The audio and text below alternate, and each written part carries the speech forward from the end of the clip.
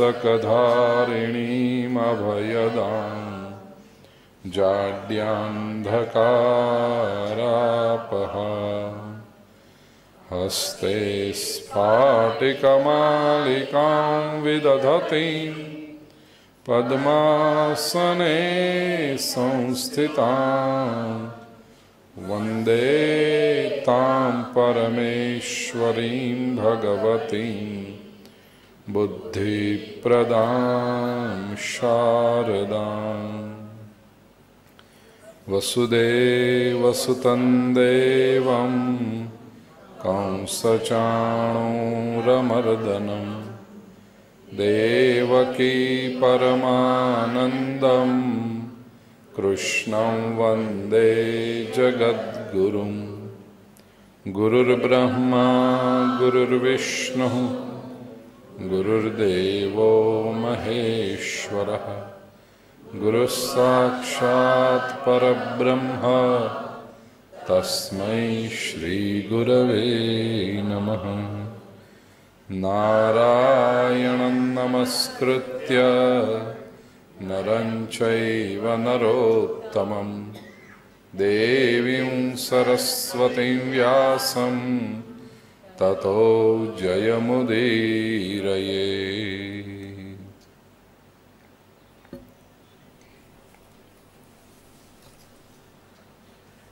Shrimad Bhagavat.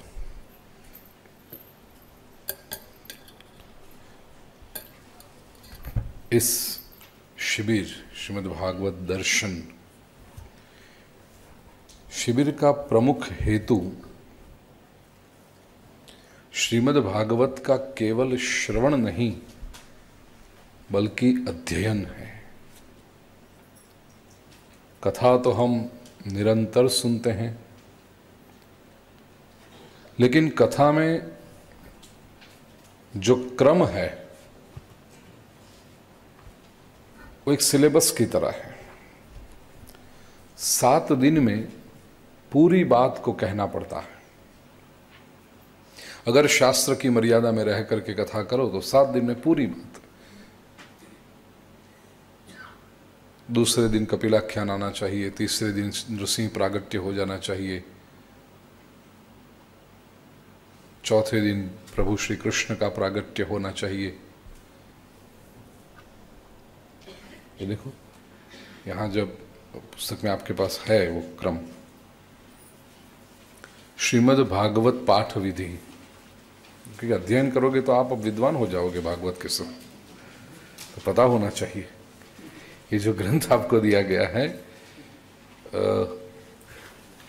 Page number नहीं है, इसलिए मैं नहीं कह सकता आपको, लेकिन इस चित्र के सामने जो है मिला ये बड़े पुस्तक में होगा, छोटे में नहीं होगा। इस चित्र के सामने श्रीमद् भागवत सप्ताह पारायण से दैनंदिन विश्राम स्थलानि निम्रांकित पद्येषु निरूपितानि। श्रीमद् भागवत सप्ताह पारायण का जब हो रहा हो तब दैनंदिन विश्राम स्थलानि दैनंदिन प्रतिदिन के विश्राम स्थल कथा कथा कहाँ रुकनी चाहिए? वह निम्नांकित पद्येशु निरूपितानि, निम्नलिखित पद में बताया गया है। मनुकर्दम संवाद पर्यंतम प्रथमे हनी। पहले दिन कथा मनु और करदम के संवाद तक रुकनी चाहिए। तीसरे स्कंद में है मनुकर्दम संवाद। तो पहले दिन वहाँ पहुँचना चाहिए। भरताख्यान पर्यंतम द्वितीय हनिवाचयेत दूसरे दिन भरताख्यान पाँचवें स्कंद में आता है। वहाँ तक पहुँचना चाहिए। जड़ भरत और रहुगण राजा का जो संवाद है वो भरत आख्यान तृतीय दिवसे कुरियात सप्तम स्कंध पूर्णम। तीसरे दिन सातवां स्कंद पूरा हो जाना चाहिए। अब सातवें स्कंद में नृसिंह आख्यान है। नृसिंह प्रागट्य की कथा है। और फिर ग्यारह से पंद्रह ये पाँच अध्याय धर्म पंचाध्यायी के हैं। अपनी कथा में हम ये निश्चित करते हैं, पहले दो दिन तो नहीं कर पाते, लेकिन तीसरे दिन से रूटीन आ जाता है।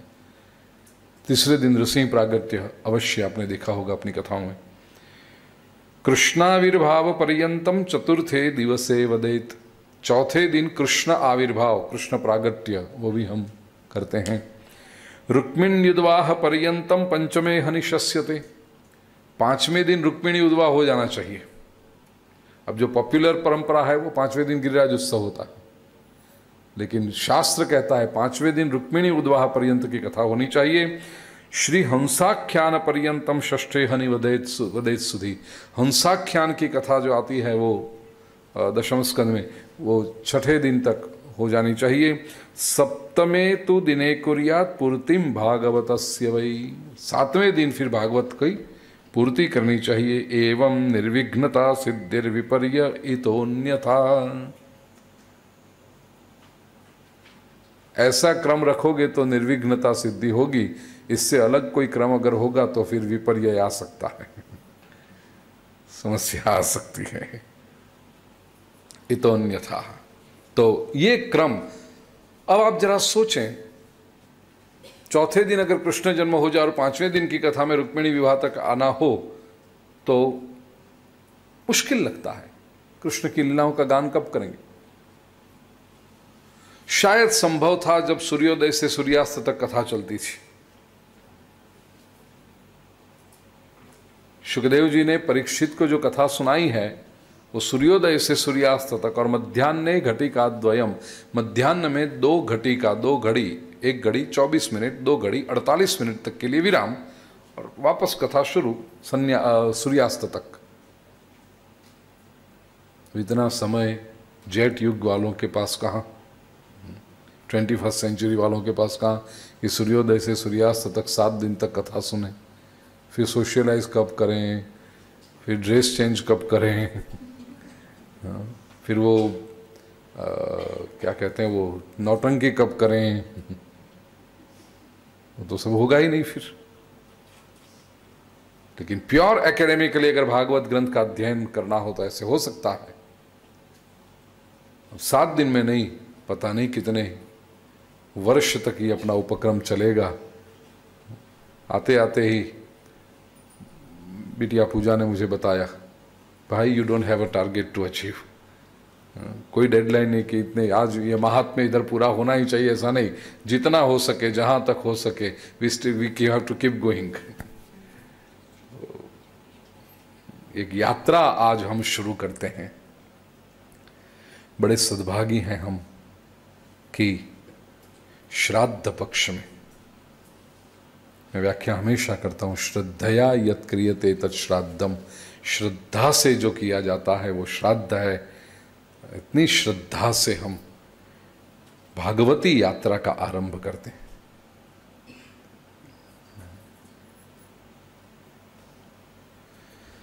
सबसे पहले महात्म्य है। महात्म्य शब्द का ही अर्थ है इंपॉर्टेंस जब तक किसी व्यक्ति का या किसी विचार का महत्व पता न हो, तब तक हम उसके लाभ को पा नहीं सकते। महत्व पता होना चाहिए इंपॉर्टेंस पता होना चाहिए। नहीं तो चूक जाएँगे हम। मूल्यवान रत्न आपके पास हो, लेकिन उसका महत्व अगर आपको पता ना हो तो चुक जाओगे। शायद कंकड़ समझकर फेंक दोगे, कांच का टुकड़ा समझकर फेंक दोगे। एक कुम्हार था। गाँव के बाहर माटी खोद रहा था। अचानक कोई चमकीला पत्थर उसके हाथ में आ गया। अब कुम्हार कुम्हार है। चमकीला पत्थर आया तो पहले उसको अपने गधे की विचार आया। सोची, पत्थर को रस्सी से बांधकर गधे के गले में पहना दिया। खुश हो गया कि मेरा गधा बहुत शोभा दे रहा है उसकी। गधे के ऊपर मिट्टी लाद के वो गाँव की ओर आ रहा था जंगल में से गुजरकर। उस समय गाँव के जो नगर सेठ थे, धनी व्यक्ति, वो निकले और उन्होंने देखा कि ये गधे के गले में इतना चमकीला पत्थर है क्या? नगर सेठ पहचान गए कि मूल्यवान रत्न है। कुम्हार से पूछा भैया ये गधे के गले में जो बाँध रखा है, पत्थर कितने में दोगे? कुम्हार ने कहा, बेचने के लिए कहाँ है? पत्थर है। क्या बेचें इसको? बस ऐसे माटी खोदते खोदते, मिट्टी खोदते खोदते मिल गया। गले के, गधे के गले में बड़ा बाँध दिया है। नहीं नहीं, सोचो जरा कितने में दोगे? मेहनत तो की है ना तुमने मिट्टी खोदते समय। कुमार ने सोचा, सौ रुपए। नगर सेठ ने सोचा, इस आदमी को कुछ अकल ही नहीं है। एक तो पहले तो बोलता था, बेचना नहीं है, और बेचना कहता है तो सौ रुपये सौ रुपये क्या चीज़ होती? लेकिन नगर सेठ को भी थोड़ी लालच लग गई कि अब जब इसको कुछ पता नहीं है तो सौ भी क्यों दें? नगर सेठ ने कहा, पचास में दोगे? कुमार ने कहा, हमें कहाँ बेचना है? ये तो तुमने पूछा, इसलिए कह दिया, बस मन में आ गया, सौ रुपये तो सौ रुपये नहीं नहीं नहीं नहीं देना है। नगर सेठ ने सोचा, जाएगा कहाँ? इसको तो कुछ पता नहीं है, पचास में दे ही देगा। आज नहीं तो कल मिल जाएगा। नगर सेठ आगे चले गए। और सोचा कि अभी बुलाएगा वो। नहीं तो कल दे देंगे सौ। आधा घंटा हो गया नगर सेठ चलते कि वो आया नहीं। नगर सेठ ने सोचा, ये पत्थर बहुत चमकीला था। गधे के गले में इसने बाँध रखा है, संभव है गधा कहीं दौड़ता हुआ जाए और गिर जाए तो कहाँ ढूंढेंगे? ले लो इसको सौ में, कोई चिंता नहीं। नगर सेठ दौड़ते हुए वापस आए। कि उन्होंने तो सोचा था कि कुम्हार आएगा, लेकिन वो नहीं आया। तो नगर सेठ पीछे दौड़े, जाकर कुम्हार से कहा, चलो ठीक भाई, सौ रुपए ले लो, दे दो। कुमार ने कहा, बस अभी दस मिनट पहले कोई दूसरा एक व्यक्ति यहाँ से गुजर रहा था, वो दो सौ देकर ले गया चूक गए नगर सेठ। यूँ देखो तो ये कीमत लाखों नहीं, शायद करोड़ों रुपए का था। नगर सेठ एक पचास रुपए बचाने गए। एक तरफ़ कुम्हार है जिसको इसका कुछ महत्व ही पता नहीं। तो वो तो बिल्कुल वंचित रह गया। नगर सेठ थे जिनको इसका मूल्य पता था, लेकिन थोड़ा कुछ बचाने गए। तो वो भी खो बैठे। लेकिन जो व्यक्ति इसके मूल्य को भी जानता था और वो अपॉर्चुनिटी चूकना नहीं चाहता था शायद कुम्हार ने उससे सौ कहे होंगे, वो दो सौ देकर के कर चला गया कि देने वाला भी खुश रहे ताकि वापस फिर से कभी मांगने ना आए। जीवन में यही लोग सफल हो पाते हैं। जो वस्तु, व्यक्ति या विचार के मूल्य को तो समझते हैं, लेकिन उसके साथ वो अपॉर्चुनिटी नहीं चूकते। कई लोग संसार में ऐसे हैं, जो मूल्य ही नहीं समझते। उनकी तो बात ही छोड़ो। अधिकतर लोग ऐसे हैं जो मूल्य समझते हैं, लेकिन मौका पकड़ नहीं पाते। कितने लोगों को पता है कि श्रीमद् भागवत एक अत्यंत सुंदर ग्रंथ है। श्रीमद् भगवत गीता अच्छी बात है, ध्यान बहुत अच्छा होता है। सबको पता है, नहीं सुना हमने, सुना है सबने। लेकिन उसकी अपॉर्चुनिटी लेने वाले कितने? वो मौका उठाने वाले कितने? मूल्य समझना और मौका समझना, ये दोनों जब साथ में होते हैं, तभी जीवन में सिद्धि प्राप्त होती है। ऐसी सिद्धि के मार्ग पर आज जब हमारी यात्रा शुरू हो रही है, व्यासपीठ से चतुश्लोकी भागवत के आश्रय में बैठकर मेरे हृदय के आशीर्वाद मैं आप सभी को देना चाहता हूँ, क्योंकि एक धन्यतम घड़ी है ये। श्रीमद् भागवती यात्रा हम शुरू कर रहे हैं। हमने मूल्य, उसका महत्व भी समझा और मौका भी नहीं छोड़ा। इसलिए आपके हाथ में जो ग्रंथ दिया गया है, था कि अनुवाद के साथ दें, लेकिन भावना के साथ जब बात हुई, मैंने कहा, बहना, अनुवाद के साथ मत लेना। केवल श्लोक मैं आपके हाथ में देना चाहता था। एक्सप्लेनेशन आप लिखना। अनुवाद अगर लें तो यह भी हो सकता था कि गुजराती हो, हिंदी में हो, इंग्लिश में हो, कौन सी भाषा में लें? अब पता भी नहीं कि कितने लोग गुजराती वाले होंगे, कितने लोग हिंदी भाषी होंगे, कितने हिंदी और गुजराती दोनों नहीं जानते हुए, केवल अंग्रेज़ी जानते होंगे। मूल श्लोक लिए हैं बस। अनुवाद आप लिखना, क्योंकि ऐसे जैसे जैसे हम श्लोक में से निकलते जाएँगे एंड दिस इज़ अ ये कथा नहीं है जो हम कर रहे हैं। ये क्लासरूम है। श्रीमद् भागवत को हम एकेडमिक अप्रोच से समझने वाले हैं। इसलिए यह आवश्यक नहीं कि पहले दिन यहाँ तक पूरा हो जाए और ये शिविर होने तक ये हो जाना चाहिए। आवश्यक नहीं। जितना पढ़ेंगे पढ़ेंगे। आत्मा की अनंत यात्रा है, भागवत यात्रा भी अनंत है। सबसे पहले ये महात्म्य का पहला श्लोक, मंगलाचरण का श्लोक कहते हैं, मंगल आचरण हो। क्योंकि केवल हम मंगल श्रवण या मंगल कथन पर न रुकें, मंगल आचरण की ओर बढ़ें। एक प्रश्न जरा पूछ लूँ। आप में से कितने लोगों ने श्रीमद् भागवत की कथा पहले सुनी है? जरा हाथ ऊपर करेंगे। पहले भागवत की कथा सुनी है। आप में से कितने लोगों ने मेरे पास से कथा सुनी है? भागवत की जरा हाथ ऊपर करेंगे। बहुत सुंदर। और पहली बार जो बैठे हो श्रीमद् भागवत का अध्ययन करने के लिए, वो लोग जरा हाथ ऊपर करेंगे। किम बनने वक्त बाबू जी अध्ययन करने के लिए पहली बार बैठे हैं, यस। कोशिश मैं ये करूँगा कि बहुत बड़ी संख्या यहाँ थी जिन्होंने मेरे पास से कथा भी सुनी है। तो आमतौर पर जो भागवत कथा में बातें करता हूँ, वो यहाँ पर अवॉइड करूँगा। और आमतौर पर जो नहीं होती, वही एकेडमिक बातें यहाँ पर करने का प्रयास करेंगे। हाँ, जहाँ आवश्यक होगा किसी सिद्धांत को स्पष्ट करने के लिए दृष्टांत की आवश्यकता है तो ऐसा नहीं करेंगे कि हम, नहीं नहीं नहीं, जो बोल दिया है वो नहीं बोलेंगे। नहीं, जहाँ अवश्य, ये बहुत स्वाभाविक रूप से एक प्रवाह बहता जाएगा। मंगल आचरण मंगल कथन पर रुकना नहीं है, मंगल श्रवण पर रुकना नहीं है, लेकिन मंगल आचरण होना चाहिए। अच्छी अच्छी बातें हम कहें, अच्छी बातें सुने, लेकिन वो कही या सुनी हुई बातें किस काम की जब तक वो मेरे और आपके जीवन के आचरण में न आए? पहला श्लोक महात्म्य का मंगल आचरण का है। श्रीमद् भागवत का महात्म्य कौन समझाएगा? स्वयं श्रीमद् भागवत तो नहीं समझाएगा। हीरा मुख से ना कहे लाख हमारा मोल। वो स्वयं नहीं कहेंगे तो आत्मश्लाघा हो जाएगी। महात्म्य समझाने के लिए कोई और ही चाहिए। पद्म पुराण में हमें श्रीमद् भागवत के महात्म्य का दर्शन होता है छह अध्याय में। अध्याय भी छह ही रखे उसका कारण है। श्रीमद् भागवत स्वयं भगवान का स्वरूप है। वांगमयी मूर्ति है। तो भगवान का स्वरूप क्या है? भगवान किसे कहते हैं? जो षडैश्वर्य संपन्न हो। ऐश्वर्य, धर्म,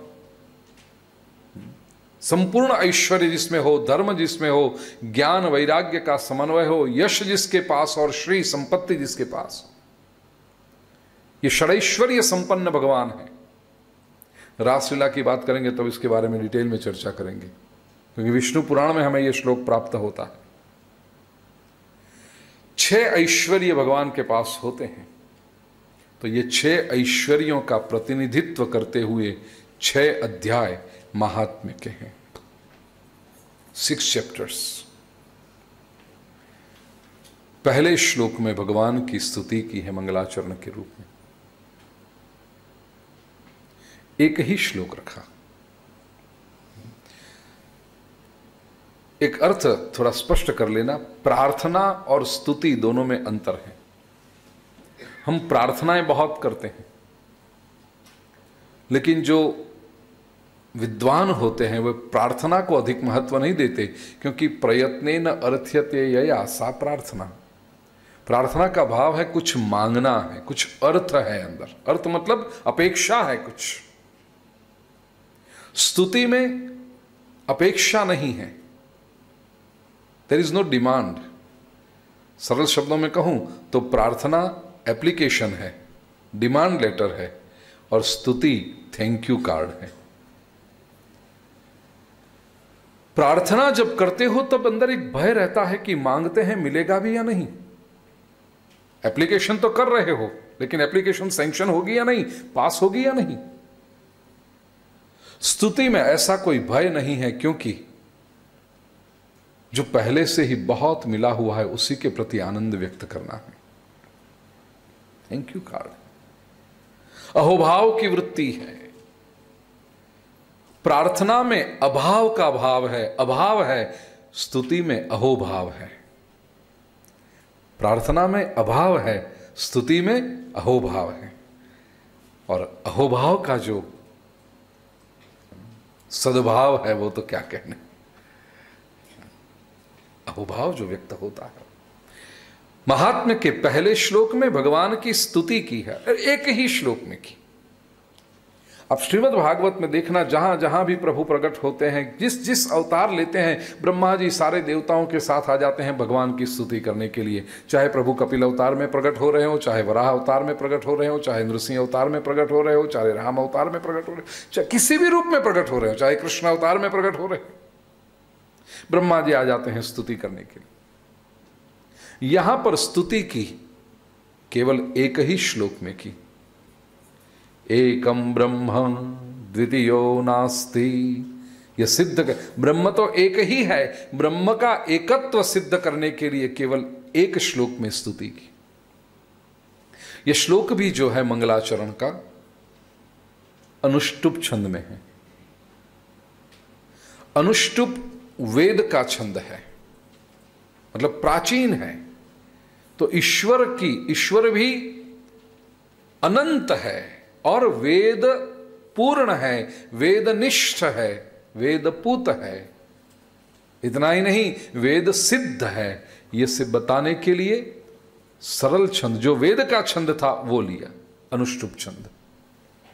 अनुष्टुप छंद कैसा है? उसमें चार चरण होते हैं। एक एक चरण आठ आठ अक्षर का होता है। टोटल बत्तीस अक्षर हुए। भगवान बत्तीस लक्षणों से पूर्ण है। गुजराती में कहते हैं बत्तीस लक्षणों, संपूर्ण। तो भगवान बत्तीस लक्षणों से पूर्ण है यह बताने के लिए अनुष्टुप छंद जिसमें बत्तीस अक्षर होते हैं, वो लिया। चार चरण, चतुष्पाद ब्रह्म। मांडुक्य उपनिषद के समय हमने इसी स्थान पर चर्चा की थी, चतुष्पाद ब्रह्म की। प्रागपाद, तेजसपाद, ऐसे चतुष्पाद हैं, वो ब्रह्म को बताने के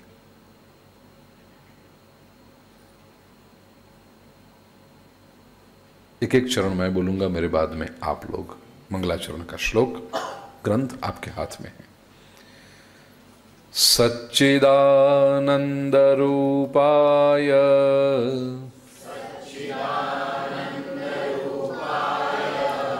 विश्वोत्पत्त्यादिहेतवे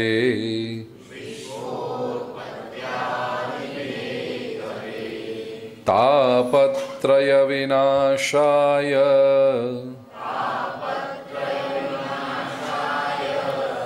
श्रीकृष्णाय वयं नुमः।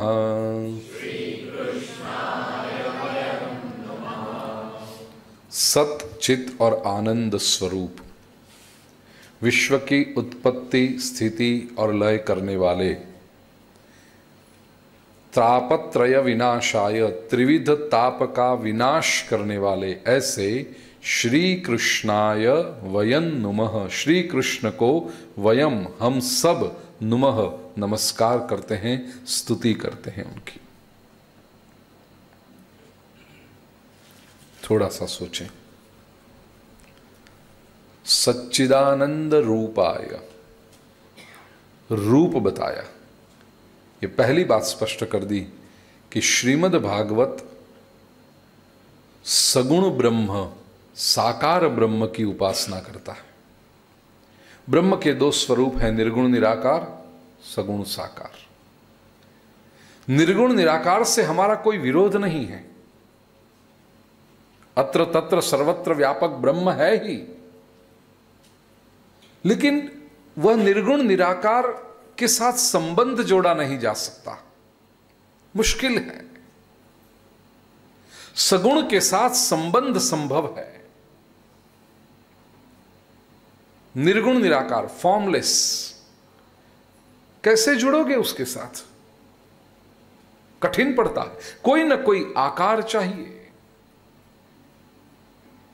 श्रीमद् भागवत भक्ति प्रधान ग्रंथ है और भक्ति के लिए भी जुड़ने का भाव चाहिए, तभी जुड़ सकते हो जब कोई आकार हो, कोई रूप हो। मैं आपसे कहूँ आँखें बंद कर दें और आपके घर के आकाश का चिंतन करें। आपके घर की हवा पर ध्यान करें। कर सकोगे? आपके घर में हवा है, आपके घर में आकाश है। लेकिन आप चिंतन नहीं कर सकोगे। वी विल बी लॉस्ट आँखें बंद के क्या सोचें? किस पर ध्यान करें? इट इज़ सो एब्स्ट्रैक्ट क्योंकि फॉर्मलेस है। There is no form to it लेकिन मैं आपसे कहूँ कि आपके घर की कुर्सी का ध्यान करें। आँखें बंद करके तुरंत ये कुर्सी रही, देखो। उसका कलर, उसकी डिज़ाइन कितने कंफर्टेबल है और हैंडल की अपहोल्स्ट्री बदलनी है, वो भी याद आ जाता है। क्यों? क्योंकि उस पर एक आकार है। It is easy to get connected Shrimad Bhagwat की यात्रा के द्वारा हम ईश्वर से जुड़ना चाहते हैं और जब जुड़ना हो तो आकार आवश्यक है। सच्चिदानंद रूपाय। क्योंकि भागवत यही करता है। भागवत का हेतु क्या है? भगवता उदितम भागवतम। भगवान ने जो कहा है वो भागवत। और भी कई व्याख्या विद्वान लोग करते हैं। भगवान के साथ जो परिचय कराए, वो भागवत। तीसरी व्याख्या, हमें भगवान के बनाए, वो भागवत। क्योंकि भागवत शब्द का अर्थ ये भी होता है, भगवान का षष्ठी विभक्ति। That which belongs to God भगवांश्च भगवंत भगवत भगवता मिदम भागवतम। जो भगवान का है इस क्षण अगर हमसे पूछा जाए कि आप किसके हो तो सभी का उत्तर अलग अलग होगा। कोई कहेगा, भाई, मैं तो मेरे धंधे का हूँ। कोई कहेगा, मैं सत्ता का हूँ। कोई कहेगा, मैं प्रसिद्धि का हूँ। कोई कहेगा, मैं तो मेरी पत्नी का हूँ। पत्नी कह सकती है, मैं तो मेरे पति की हूँ। मैं माता का हूँ, मैं पिता का हूँ, मैं गुरु का हूँ। श्रीमद् भागवत का अध्ययन करने से कभी न कभी एक आवाज़ भीतर से प्रकट होती है, मैं भगवान का हूँ। आई बिलोंग टू गॉड ये आवाज़ भीतर से प्रकट हो, ये अनुभूति हो I belong to God and when you belong to God you don't cease to belong to anything else ये भी एक बहुत बड़ी मिसअंडरस्टैंडिंग लोगों में है कि भगवान के हो जाना मतलब दुनिया के न रहना। ऐसा आवश्यक नहीं है। बल्कि तुम दुनिया के और अच्छे बनोगे, जब भगवान के बनोगे तो क्योंकि तुम एक अच्छे इंसान बनोगे you'll be a better human being तो भगवान के जो हमें बनाता है, वो है श्रीमद् भागवत भगवान के भक्त भगवान ने कहा हुआ, जो फिर से कहें, उसे कहते हैं भागवत। यह संदेश भी भगवान का है। यह संदेश किसी एक यह संदेश किसी एक व्यक्ति विशेष का नहीं हो सकता। किसी एक व्यक्ति की धारणाओं पर भागवत का संदेश नहीं दिया जा सकता। बात भगवान की है, भगवान ने जो कहा है, वो ही कहना है। और क्यों कहना है? क्योंकि श्रोता को भगवान से मिलाना है। इसलिए जो बात होती है, वो भागवत है। भगवान की तो कथा है, साथ में भक्तों की भी कथा है भागवत। क्यों? और सच पूछो तो व्याकरण की दृष्टि से कहूँ, केवल भगवान की कथा होती तो इस ग्रंथ का नाम रहता भगवत कथा अकॉर्डिंग टू संस्कृत ग्रामर भगवत कथा होता नाम। यह भगवत कथा नाम नहीं है, नाम है भागवत कथा। मतलब जो भगवान के हैं, जो भगवान का है जो भगवान की है, उसकी कथा। भक्तों की कथा है। और यह बात बहुत अच्छी है हमारे लिए। केवल भगवान की कथा होती तो शायद केवल सुनने के लिए रह जाती।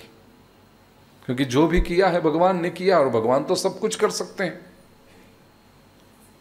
केवल सुनने की बात रह जाती।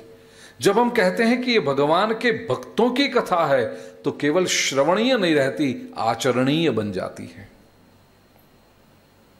आचरण के योग्य बन जाती क्यों?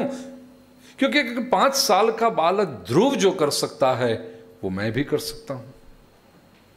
सात साल के प्रहलाद को बचाने के लिए अगर भगवान आ सकते हैं तो मेरे लिए भी प्रभु आ सकते हैं।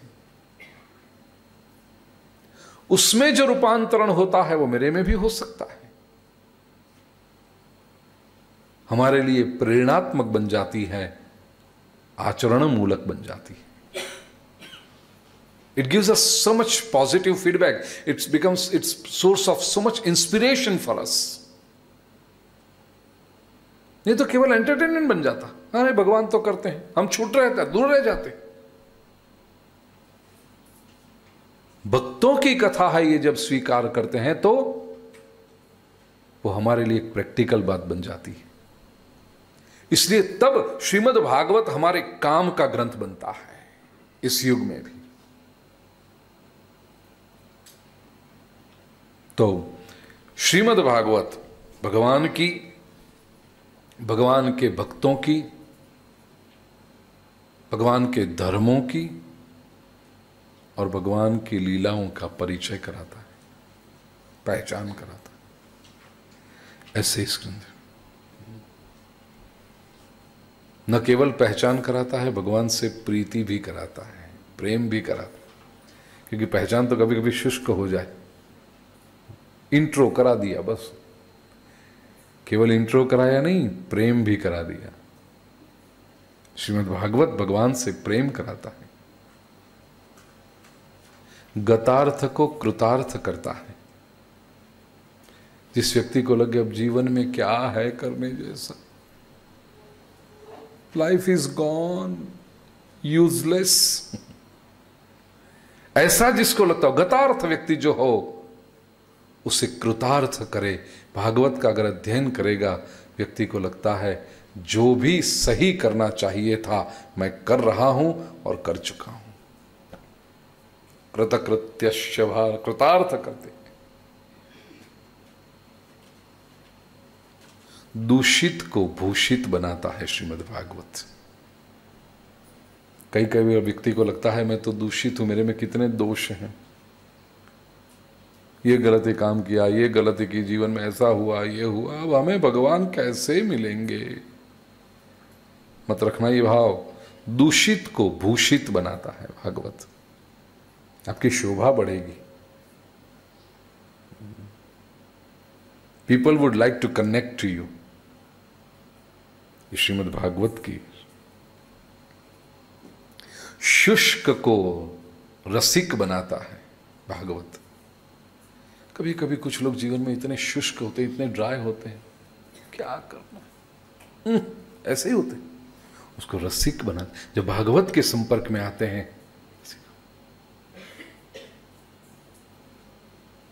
अज्ञ को विज्ञ और सुज्ञ बनाता है भागवत। जो अज्ञ है इग्नोरेंट है, उसको विज्ञ, विशेष रूप से ज्ञाता, और न केवल विशेष रूप से ज्ञाता, लेकिन सुग्न बनाता है। जो सही जानना है वही जानेगा। और उसे यह भी पता चल जाता है कि मुझे क्या जानना चाहिए। जीवन की बाकी चीज़ों में आप बहुत चूजी होते हो। एक कपड़ा भी लेने जाओगे तो बड़ा चूजी होते हो। ये ऐसा मटेरियल नहीं चाहिए, ऐसा कलर नहीं चाहिए। ब्राउन ही नहीं लेते आप। क्यों? No that's not my kind that's not my type बड़े सुग्न you are very precise what you want लेकिन जानने के बारे में आप सुग्न हो। आपके मस्तिष्क में क्या जा रहा है, उसके लिए आप चूजी हो। कोई भी कुछ भी कचरा लाके दे दे, आप ले लेते हो। कुछ सुना, नहीं नहीं, सुनाओ सुनाओ। गॉसिप। कभी कभी तो लोग टी शर्ट पे लिख के रखते हैं आई लव गॉसिप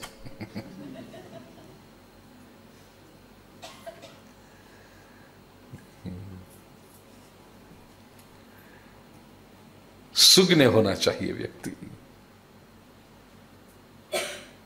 तो श्रीमद भागवत अग्नि को विघ्न बनाता है, विघ्न को सुग्न बनाता है। भागवत की क्रम जो उलझन में पड़े हैं, उनको सुलझाता है, सही मार्ग दिखाता है।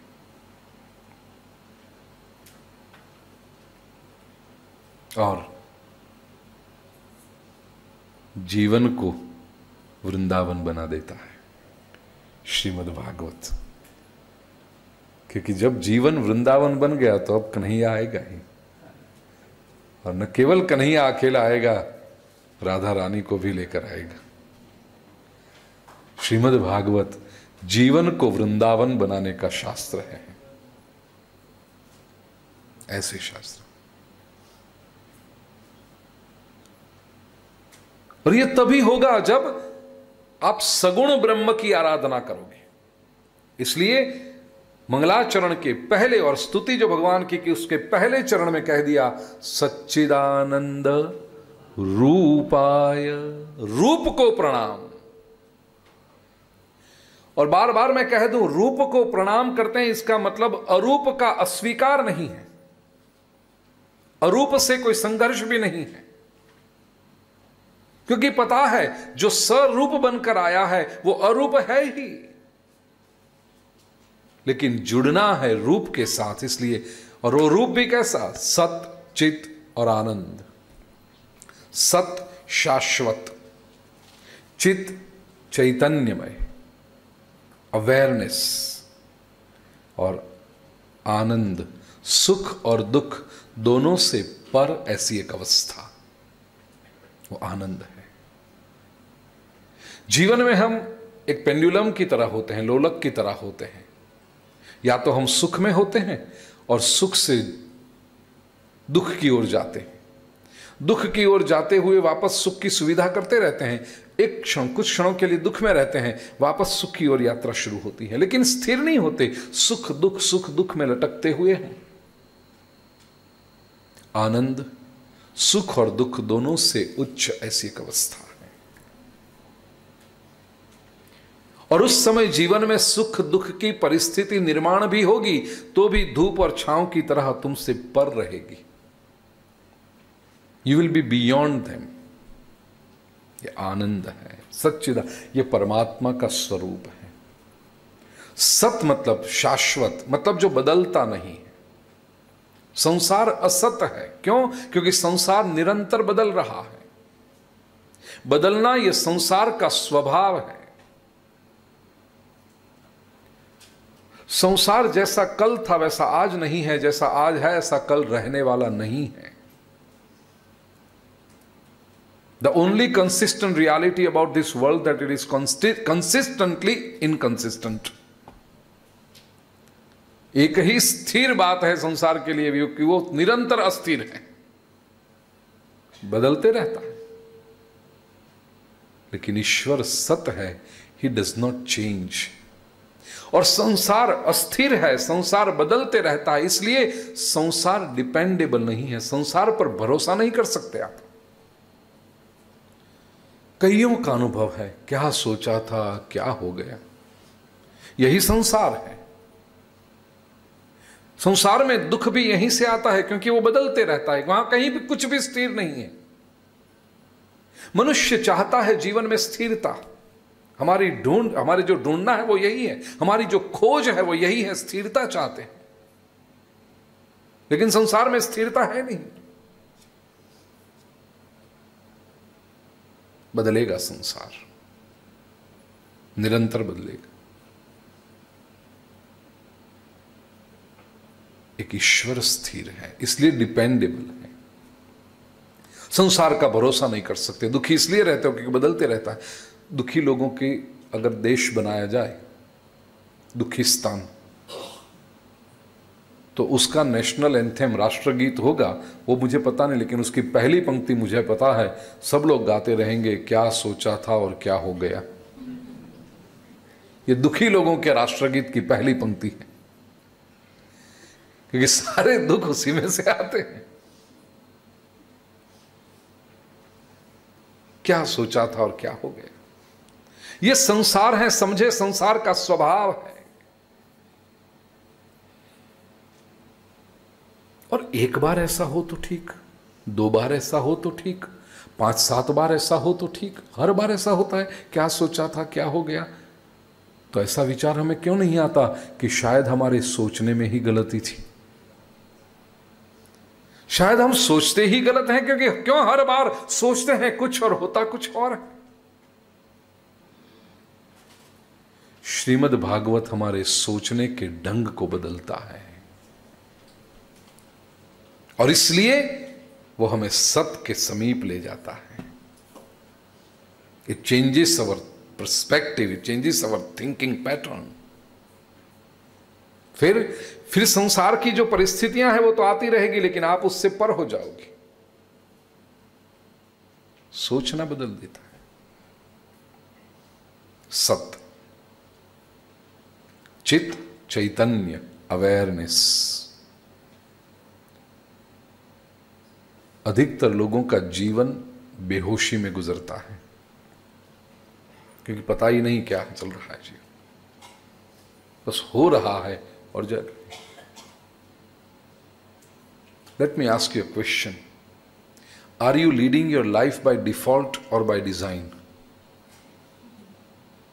Most people in life operate by default. That means you are not in the driving chair, you are leading by default. कोई एक ऐसा सॉफ्टवेयर तुम्हारे अंदर आ गया है शायद वायरस आ गया है you are keeping operating by default सिद्ध वो होते हैं ईश्वर को प्राप्त वो कर सकते हैं those who begin to operate by design, not by default. Learn to lead life on your terms. केवल जैसी परिस्थिति निर्माण होती है और आप बस ऐसे रिएक्ट करते जाते हो रिएक्ट करते जाते हो और वो तुम्हारा जीवन बन जाता जीवन का नक्शा तुमने तय किया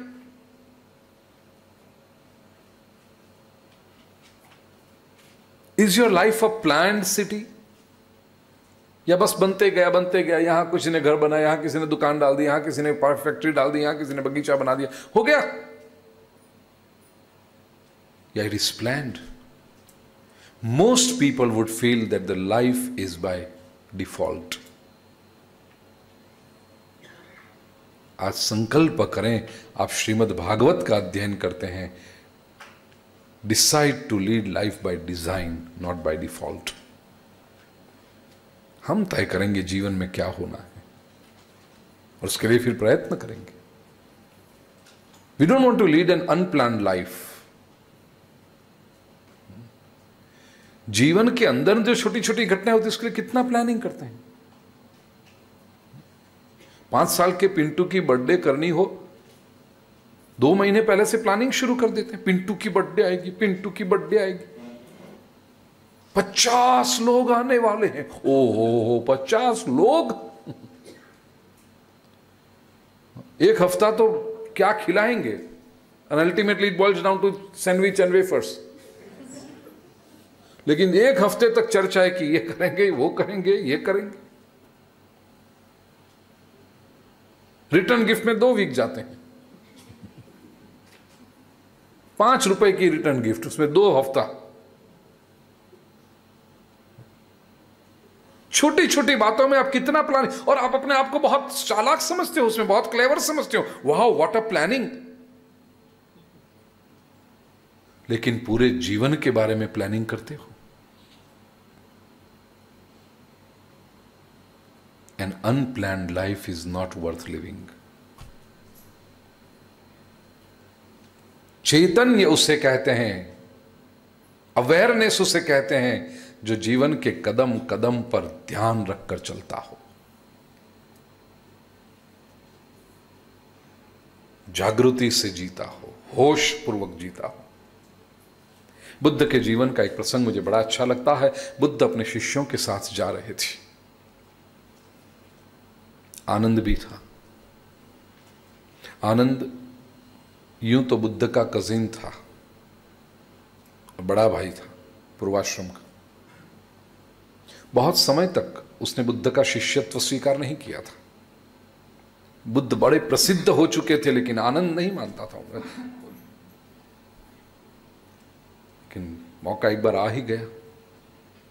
उसने तय किया कि मैं अब बुद्ध का भिक्षु बनना चाहता हूँ। बुद्ध के शिष्य भिक्षु के रूप में जाने जाते आकर उसने शर्त की। बुद्ध हंस रहे हैं। भला, समर्पण भी कभी का कंडीशनल होता है। शर्त रखी, मैं आपका शिष्य बनना चाहूँ। लेकिन एक, दो शर्त है मेरी। कौन सी? पहली शर्त, आप हमेशा मुझे साथ में रखोगे।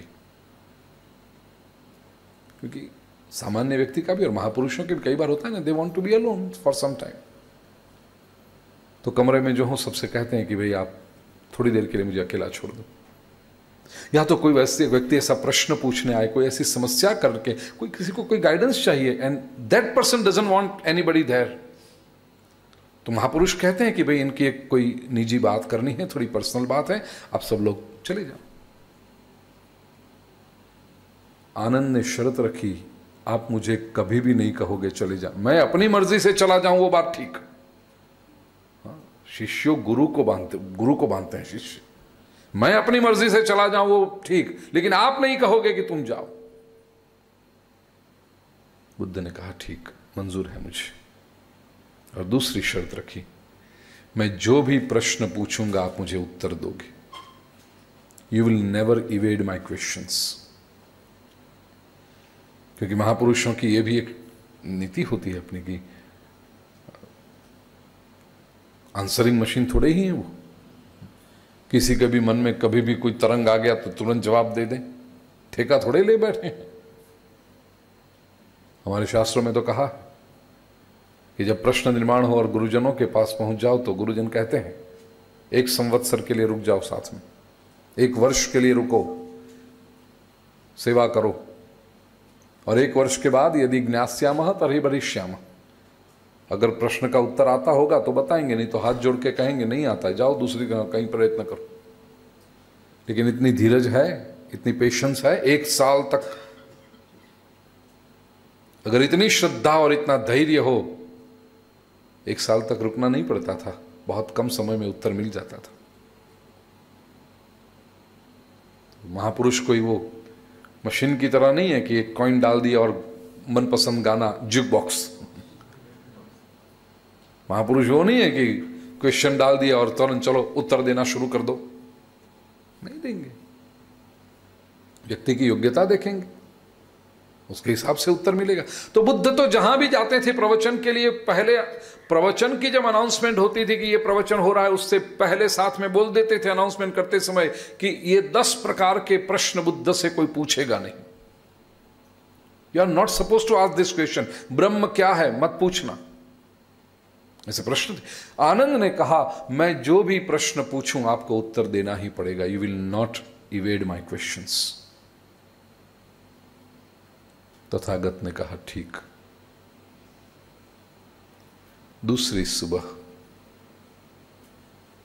देवदत्त ने, नाम देवदत्त था पूर्वाश्रम का, शिष्यत्व स्वीकार किया।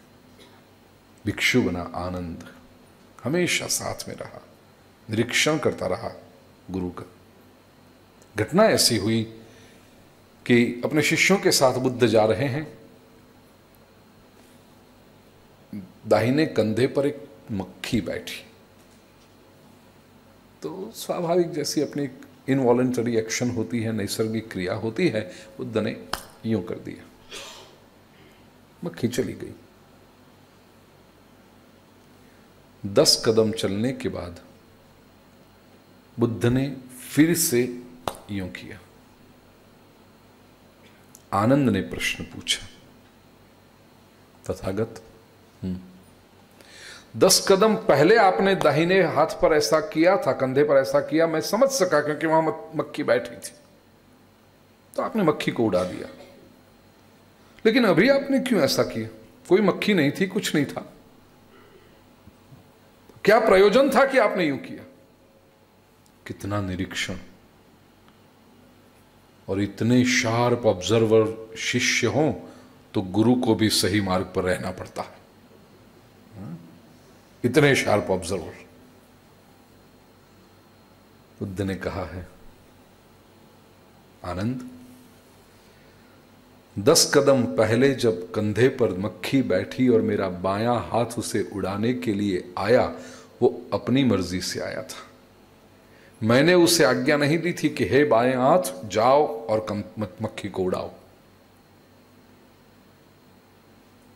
ने कहा, क्या फ़र्क पड़ता है? ये तो नैसर्गिक क्रिया है। मक्खी बैठी है, शरीर पर तो उड़ा दी। बुद्ध कहते हैं, दस कदम बाद मैंने हाथ को आज्ञा दी। हाथ, वहाँ जाओ। मक्खी नहीं है, मैं जानता हूँ। फिर भी रिपीट द एक्शन ये मेरी आज्ञा है। उन्होंने कहा फ़र्क क्या पड़ता है? बुद्ध ने कहा, फ़र्क बहुत पड़ जाता है। जो हाथ मेरी आज्ञा के बिना आज मक्खी उड़ा रहा है, वही हाथ मेरी आज्ञा के बिना कल किसी का गला भी दबा सकता है। मेरे हाथ को अनुशासन होना चाहिए शिस्त होना चाहिए कि मेरी एक्सप्लिसिट ऑर्डर जब तक ना हो, आज्ञा ना हो, स्पष्ट, तब तक वो हिले कैसे? ये कितनी जागृति, कितना होश। अवेयरनेस कहा जाता है, भगवान महावीर जब सोते थे तो जिस तरह रात को सो गए, सुबह उसी तरह उठेंगे। नींद में अगर करवटें बदलें और उसमें कोई जीव की हिंसा हो जाए, नहीं चलेगा। और भगवान मारवी कहते थे कि सोते क्यों हो? शरीर को आराम मिले इसलिए तो फिर आराम करने दो ना। नींद में करवटें क्यों बदलते हो? ये तो शरीर को परिश्रम पड़ रहा है। पड़ा रहने दो शरीर को ऐसे ही।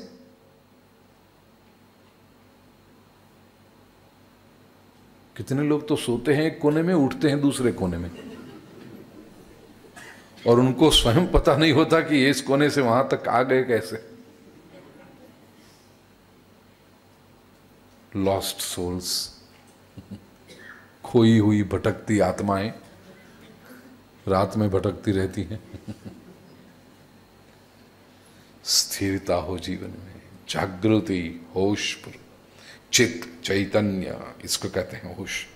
और आनंद, सुख और दुख से पर ऐसी अवस्था। विश्वोत्पत्त्यादि है तवे विश्व की उत्पत्ति स्थिति और लय करने वाले प्रभु हैं। प्रथम चरण में परमात्मा के स्वरूप का दर्शन कराया है, द्वितीय चरण में परमात्मा के सामर्थ्य का दर्शन कराया क्या करते हैं प्रभु? विश्वोत्पत्ति है तवे प्रभु का सामर्थ्य क्या है? विश्वोत्पत्ति आदि हे तवे दो तरह से इस चरण का आप अर्थ कर सकते हो। विश्वोत्पत्ति मतलब विश्व की उत्पत्ति के आदि हे तवे मूल कारण वो ईश्वर है। और दूसरा अर्थ, विश्व उत्पत्ति आदि हे तवे विश्व मतलब सृष्टि उत्पत्ति आदि, उत्पत्ति एटसेट्रा उसमें तीनों आ गए, उत्पत्ति, स्थिति और लय। तीनों का हे तवे जो कारण है he is the creator he is the sustainer and he is the destroyer ये तीनों, Brahma, Vishnu, Mahesh. G generator O operator D destroyer God विश्वोत्पत्त्यादि है तवे सामर्थ्य बताया परमात्मा का। तीसरे चरण में परमात्मा के अनुग्रह का वर्णन किया। देखिए, परिचय पाना है भगवान का, क्योंकि श्रीमद् भागवत है ही कोई, जो भगवान का परिचय करा दे आपको। परिचय तीन स्टेज में होता है। पहला स्टेज होता है स्वरूप का देख। जैसे ही कोई व्यक्ति आए तो पहले तो आप उसके स्वरूप को देख लो। फिर वो क्या करते हैं उसके बारे में जानो? और तीसरा, हमारे लिए क्या करेंगे? किसी व्यक्ति से परिचय हो, कमरे में कोई आए या वेडिंग के रिसेप्शन में आपको कोई मिले ब्लू सूट में जो आए ना हाँ बहुत बड़े इंडस्ट्रियलिस्ट है। पहले क्या देखा? स्वरूप ब्लू सूट स्वरूप। फिर सामर्थ्य क्या है? बहुत बड़े इंडस्ट्रियलिस्ट हैं। कौन सी इंडस्ट्री है? स्टील की इंडस्ट्री है या कपड़े की इंडस्ट्री है। लेकिन ये केवल पहली दो बातों से परिचय नहीं होता। अब तुरंत पूछोगे, अपने लिए क्या करेंगे? डीलरशिप मिलेगी। उनका माल थोड़ा डिस्काउंट में मिलेगा। या तो पेमेंट थर्टी डेज़ का रूल है अपारे अपने लिए सिक्सटी डेज़ कर देंगे। कोई रिलैक्सेशन करेंगे। नहीं नहीं, ऐसा तो वो कुछ नहीं करते एक पैसे का डिस्काउंट नहीं देते, कोई रिलैक्सेशन नहीं, कुछ नहीं, बिल्कुल कानून से काम चलता है उनका। और ऐसे जो उनके सब हो चुके आपको नई डीलरशिप भी नहीं मिल सकती। अच्छा तो छोड़ो ना फिर, क्या करना है ब्लू सूट वाले को? अगर वो हमारे लिए नहीं कुछ कर सकता तो नहीं, संबंध दृढ़ कब बनेगा? वो हमारे लिए क्या करेगा? ईश्वर समर्थ है। ईश्वर का स्वरूप वर्णन कर दिया सच्चिदानंद रूपाय। ईश्वर का सामर्थ्य वर्णन कर दिया विश्वोत्पत्त्यादि हे तवे अब तीसरा प्रश्न संबंध के लिए आता है, हमारे लिए क्या करेगा? व्यास महर्षि ने बताया, तापत्रय विनाशाय। त्रिविध ताप का विनाश करता है। त्रिविध ताप कौन से? जो निरंतर बताए जाते हैं त्रिविध ताप आधि दैविक आधि भौतिक, आध्यात्मिक आधि व्याधि और उपाधि। आधि का अर्थ है अभाव का दुख। कोई वस्तु या व्यक्ति आपके पास न हो और आपको जो दुख होता हो, उसे कहते हैं आधि suffering because of absence of something और समबडी व्याधि कहते हैं शारीरिक पीड़ा को फ़िज़िकल ट्रबल जुकाम सर्दी, बुखार ब्लड प्रेशर डायबिटीज़ आर्थराइटिस अलग अलग प्रकार के, उसे कहते हैं व्याधि और उपाधि। वस्तु और व्यक्ति मिल जाए, उसके बाद जो समस्या शुरू होती है suffering because of presence of something और समबडी उसे कहते हैं उपाधि। अब जीवन को जरा देखना। जब वो वस्तु नहीं थी, तब तो आपको दुख लगा कि ये वस्तु नहीं हमारे पास, ये वस्तु नहीं हमारे पास। आपने कोशिश की, प्रयत्न किया और वो वस्तु को ले आए। क्या वस्तु आने के बाद आप सुखी हो गए? नहीं। शुरुआत में ऐसा लगा कि सुखी हुए, लेकिन वो सुख ज़्यादा टिकता नहीं है। उसी में से फिर दुख निकलना शुरू हो जाता है। वही वस्तु आपके दुख का स्रोत बन जाती। है व्यक्ति भी, जब तक कोई व्यक्ति नहीं होता, लगता है, अरे, ये मिल जाए तो कैसा? बीस बाईस साल की उम्र हो, लगता है, पुरुष को लगता है, ये स्त्री मिल जाए तो कितना अच्छा। स्त्री को लगता है, ये पुरुष मिल जाए तो कितना अच्छा। इसके साथ अगर अपना ब्याह अगर हो जाए तो वाह, कैसी होगी ज़िंदगी। लेकिन नहीं मिलता। तो जब तक ये वह मिला नहीं, जब तक हाँ नहीं हुई तब तक जो आपके मन में एक अनसर्टनटी है और पेन है, उसे कहते हैं आधी। बहुत कोशिश की आपने। दो चार साल फील्डिंग भरी आसपास में। कहीं ना कहीं से जुगाड़ करा दिया कि नहीं, ये हो ही जाए एक बार तो। और वो हो गया। ब्याह हो गया उसी के साथ। तो पहले दो दिन तो लगता है, वाह, राजा रानी आप ही हैं। You are the most important people in the world made for each other. और दो साल के बाद क्या होने लगता है? बोलना मत। कहाँ से मिल गए? क्या हुआ? मिल नहीं गए, ढूंढा आपने। सारी उपाधि वहीं से आना शुरू हो गई। अनुभव है सभी का। तो ये तीन आधि, व्याधि और उपाधि दुख के कारण ये ताप है।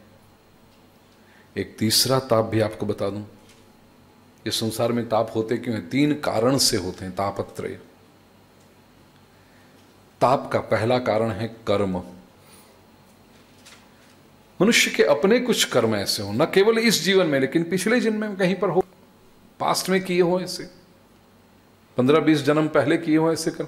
कोई कर्म अपने ऐसे हो, जिसके प्रकार से जीवन में दुख आता है।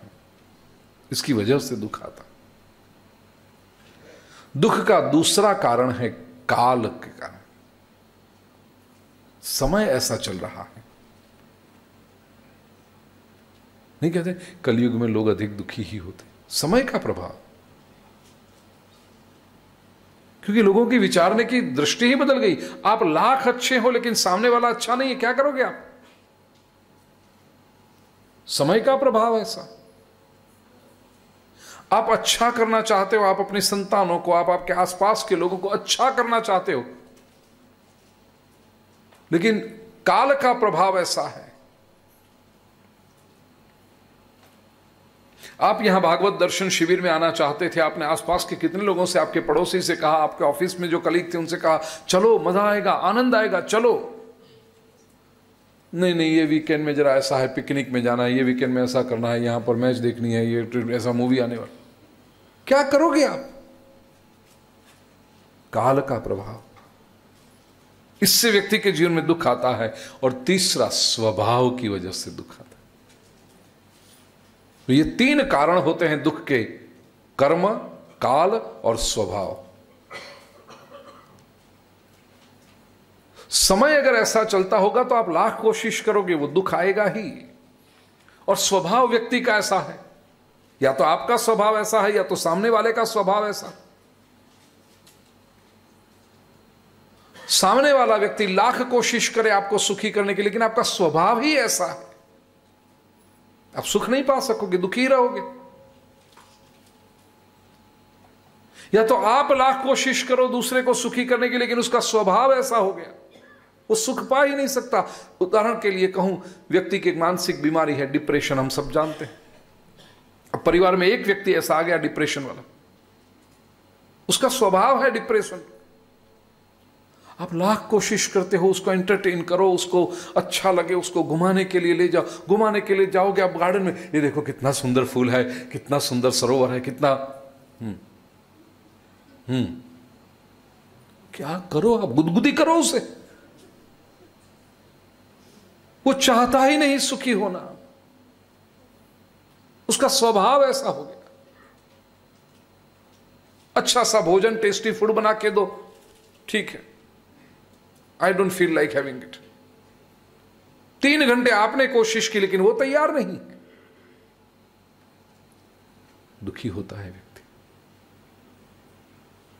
अब याद रखना, अगर आप अपने दुख को सुख में परिवर्तित करना चाहते हो तो एक ही रास्ता है। आप कर्म को बदल नहीं सकोगे। जो पिछले कर्म है, कैसे बदलोगे? वो तो हो चुके रिकॉर्डिंग हो चुका उसका। यू कान चेंज इट कर्म के कारण से जो दुख आएँगे, वो तो भुगतने ही पड़ेंगे जिसको हमने कहा प्रारब्ध। वो तो भुगतना ही पड़ेगा। समय को भी आप बदल नहीं पाओगे। कैसे बदलोगे समय को? एक रास्ता है। स्वभाव को आप बदल सकते हो।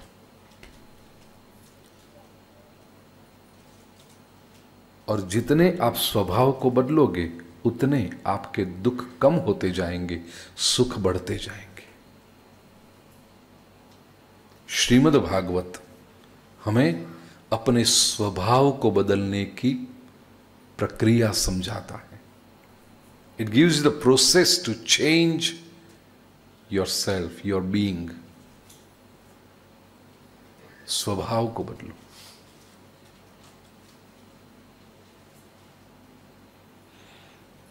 और वो कब बदलेगा? जब परमात्मा के पास आओगे तब। तापत्रय विनाशाय।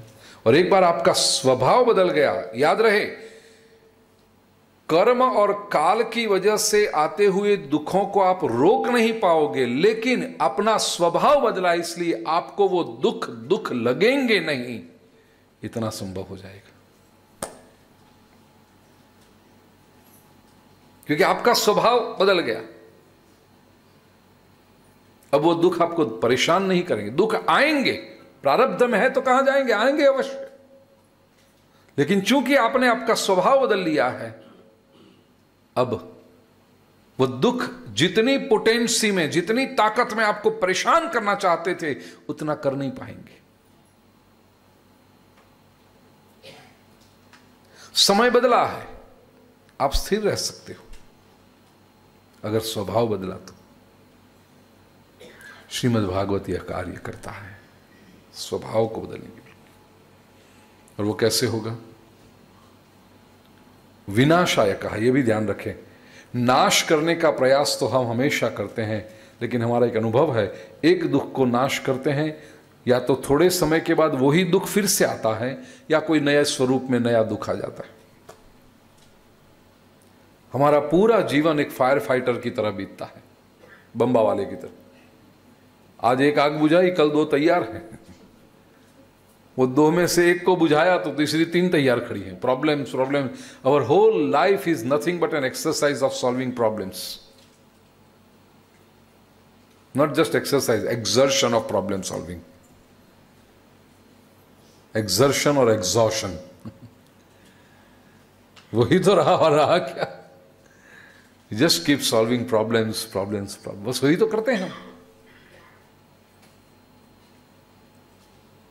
Life may not be that. Life can be, I mean, life should be not just exertion or exhaustion, it could be a celebration.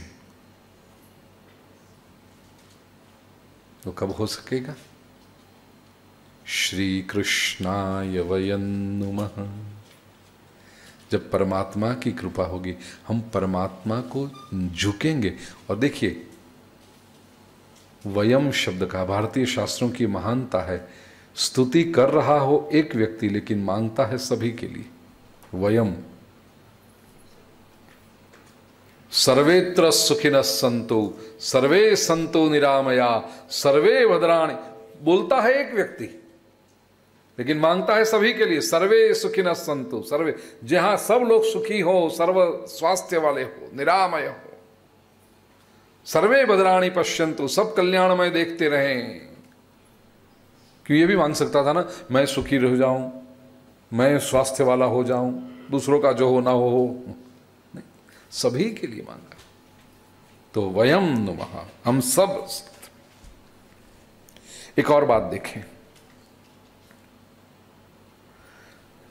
पहला चरण है सच्चिदानंद रूपाय। ये वेद का वाक्य है। सच्चिदानंद स्वरूप वेद प्रतिपादित करते हैं। तो वेद की बात हो गई। वेद को जानने वालों की बात हो गई। वेदज्ञों की। दूसरे चरण में क्या कहा? विश्वोत्पत्त्यादि हे तवे, विश्व की उत्पत्ति किसने की? ये विज्ञान की बात हो गई। सृष्टि को जानने वालों की बात हो गई। सच्चिदानंद रूपाय वेद का विषय। विश्वोत्पत्ति है तवे साइंस। साइंस यही देखता है ना, सृष्टि में क्या है, कैसा होता है। सृष्टि के रहस्य की बात। पहला चरण वेद का रहस्य, दूसरा चरण सृष्टि का रहस्य, तीसरा चरण तापत्रय विनाशाय। न बेचारे वेद को समझते हैं, न सृष्टि के रहस्य को समझते हैं। संसार की समस्याओं में भी इतने उलझे हुए हैं कि और कुछ सोचने का समय ही प्राप्त नहीं होता। ये तीनों के लिए चौथे चरण में बात स्पष्ट कर दी श्री कृष्णाय वयनुम श्री कृष्ण तो जो वेद के परामर्शक हैं, वेद के विद्वान हैं उनको तो समझ में आएगा ही। लेकिन जो सृष्टि के रहस्य को जानना चाहते हैं, उनके लिए भी श्री कृष्ण है, उनके लिए भी श्रीमद भागवत है। और न वेद को जानते हैं, न सृष्टि के विज्ञान को जानते हैं, न बड़े बड़े सिद्धांतों को जानते हैं। बेचारे इतने उलझे हुए हैं संसार की समस्याओं में, आदि व्याधि उपाधि में। उनको भी पार कराए। उनकी भी समझ में आए, ऐसा ये ग्रंथ श्रीमद् भागवत उनके भी जीवन में शांति प्रदान करें, ऐसा ये ग्रंथ श्रीमद् भागवत। श्री कृष्णाय वयन और ये कब होगा? तो श्री कृष्ण श्री शब्द से शोभा बताई। श्री शब्द से सौंदर्य का दर्शन कराया। श्री शब्द से राधा जी का संदर्भ दिया। और एक बात कही। केवल दुख का दूर होना आवश्यक नहीं है। दुख का दूर होने की जो प्रक्रिया है, वो तीन स्टेज में विभाजित है। हम जो कहते हैं, दुख दूर करो, दुख दूर करो, क्या करो दुख दूर करो? आपको संतोष कब होगा? पहली स्थिति यह होती है कि दुख दूर हो। यह पहली स्थिति। फिर दूसरी स्थिति आती है कि न दुख का अनुभव हो, न सुख का अनुभव हो। एक जेस्टेशन टाइम है बीच में थोड़ा सा। ट्रांजिशन स्टेज है। उस समय न दुख होता है, न सुख होता है। और तीसरी स्थिति आती है सुख की प्राप्ति। मनुष्य को संतोष तब मिलता है। केवल दुख के दूर होने से आप प्रसन्न नहीं हो जाओगे। न दुख हो, न सुख हो, ऐसी स्थिति में भी आपको शांति नहीं मिलेगी, क्योंकि आप कुछ ढूंढते रहोगे। वॉइड लगेगा आपको, न दुख है, न सुख है। एक शून्यावकाश जैसा लगेगा जीवन में। जीवन में संतोष कब आता है? जीवन में आनंद कब आता है? न दुख हो मतलब दुख दूर हो जाए फिर न दुख, न सुख, ऐसी स्थिति भी न रहे, लेकिन कुछ सुख की प्राप्ति हो। वो भगवान कराते। श्री कृष्णाय वयन और यह क्रम अगर देखना होगा तो बिल्कुल उल्टा क्रम बताया। तापत्रय विनाशाय, दुख का निर्मूलन। विश्वोत्पत्त्यादि है तवे, न दुख, न सुख दोनों, क्योंकि संसार में न दुख है, न सुख है। संसार में दुख है या सुख है? जैसी जिसकी मनस्थिति। सुखी व्यक्ति को लगता है संसार में बहुत सुख है। और व्यक्ति जब स्वयं दुखी होगा तो लगता है जैसे पूरी दुनिया रो रही। अच्छी बातें भी इंटरेस्टिंग नहीं लगती जब वो स्वयं दुखी हो। और सुख और दुख रिलेटिव है। कई बार मैं उदाहरण देता हूँ ना कथाओं में, बैंगन अच्छी बात है कि बुरी है? आधे लोग कहेंगे बैंगन अच्छा है, आधे लोग कहेंगे बैंगन बुरा है। अब बैंगन न अच्छा है, न बुरा है, बैंगन तो बैंगन है। इट इज़ योर प्रोजेक्शन अगर आपको बैंगन का टेस्ट अच्छा लगता होगा तो आप कहोगे बैंगन अच्छा है, अगर आपको टेस्ट अच्छा नहीं लगता, आप कहोगे बुरा है। उसको उसमें बैंगन को क्या लेना देना? इट्स योर प्रॉब्लम उसका प्रॉब्लम नहीं है वो। तो सृष्टि में न सुख है, न दुख है। विश्वोत्पत्ति आदि है तभी उसमें ये बात आई। सुख की प्राप्ति सच्चिदानंद रूपाय वो सुख की प्राप्ति है, आनंद रूप है, मिलता है वहाँ से कुछ। तो ये त्रिविध ताप के उपशमन करने वाले सच्चिदानंद ब्रह्म, ऐसे श्री कृष्णाय वयन श्री कृष्ण को हम नमस्कार मंगलाचरण हुआ। अब दूसरा श्लोक। इस गति से जाएँगे तो अठारह हज़ार श्लोक कब पूरे होंगे?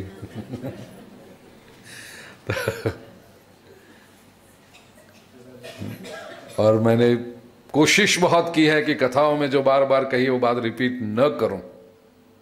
ये पूर्ण कोशिश के साथ भी एक घंटा हुआ मंगलाचरण को? सवा घंटा हुआ ठीक, चलो दूसरा श्लोक। दूसरे श्लोक में भगवान सुखदेव जी को वंदन किए। सुखदेव जी कैसे हैं? एक एक चरण मैं बोलूँगा, मेरे बाद में आप लोग। यम प्रव्रजन्तमनुपेतमपेत कृत्यम्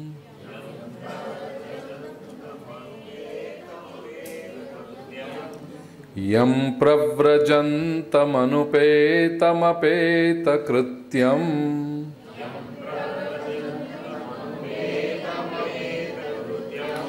द्वैपायनो विरहकातर आजुहाव।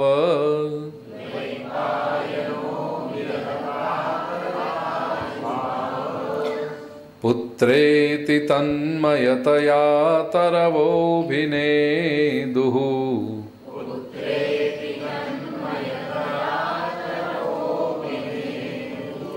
तं सर्वभूतहृदयं मुनिमानतोऽस्मि।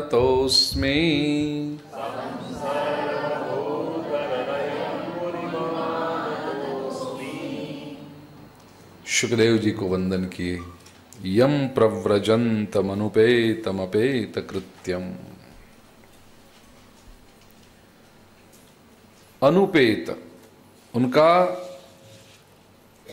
यज्ञोपवित संस्कार भी नहीं हुआ था। जनेऊ भी नहीं दी गई थी। ऐसे समय में निकल पड़े घर से बाहर। श्रीमद् भागवत के तीन प्रमुख वक्ता है। ऐसे तो कई वक्ता है भागवत में, लेकिन प्रमुख वक्ता तीन है। एक सुखदेव जी, दूसरे नारद जी और तीसरे सूत जी। फिर मैत्रेय जी भी हैं, तीसरे चौथे स्कंद में मैत्रेय जी ने कहा कि हैं कई हैं। कुछ उपदेश भरत जी भी देते हैं, वो भी वक्ता हुए। लेकिन मुख्य वक्ता ये तीन। उसमें सुखदेव जी अधिकारी वक्ता है, सात्विक वक्ता है। क्यों? क्योंकि उनमें वैराग्य है। जल कमलवत रह सकते हैं। ये उनका अधिकार है। कथा ऐसी है कि व्यास महर्षि को श्रीमद् भागवत के दर्शन हुए। मतलब ग्रंथ उन्होंने लिखा। इतना बड़ा सुंदर ग्रंथ, इतना भव्य ग्रंथ लिखने के बाद व्यास जी को थोड़ी सी चिंता हुई कि इस ग्रंथ को समाज में ले कौन जाएगा। पहली बार मन में ऐसा विचार आया, मेरा कोई पुत्र होता तो कितना अच्छा होता। झटक दिया, क्या सोच रहा हूँ मैं? पुत्र के बारे में सोच रहा हूँ। लेकिन ये विचार बार बार आता रहा। पुत्र होता तो कितना अच्छा होता, पुत्र होता। ने सोचा, ये प्रभु का कोई संकेत तो नहीं? बार बार विचार आ रहा है।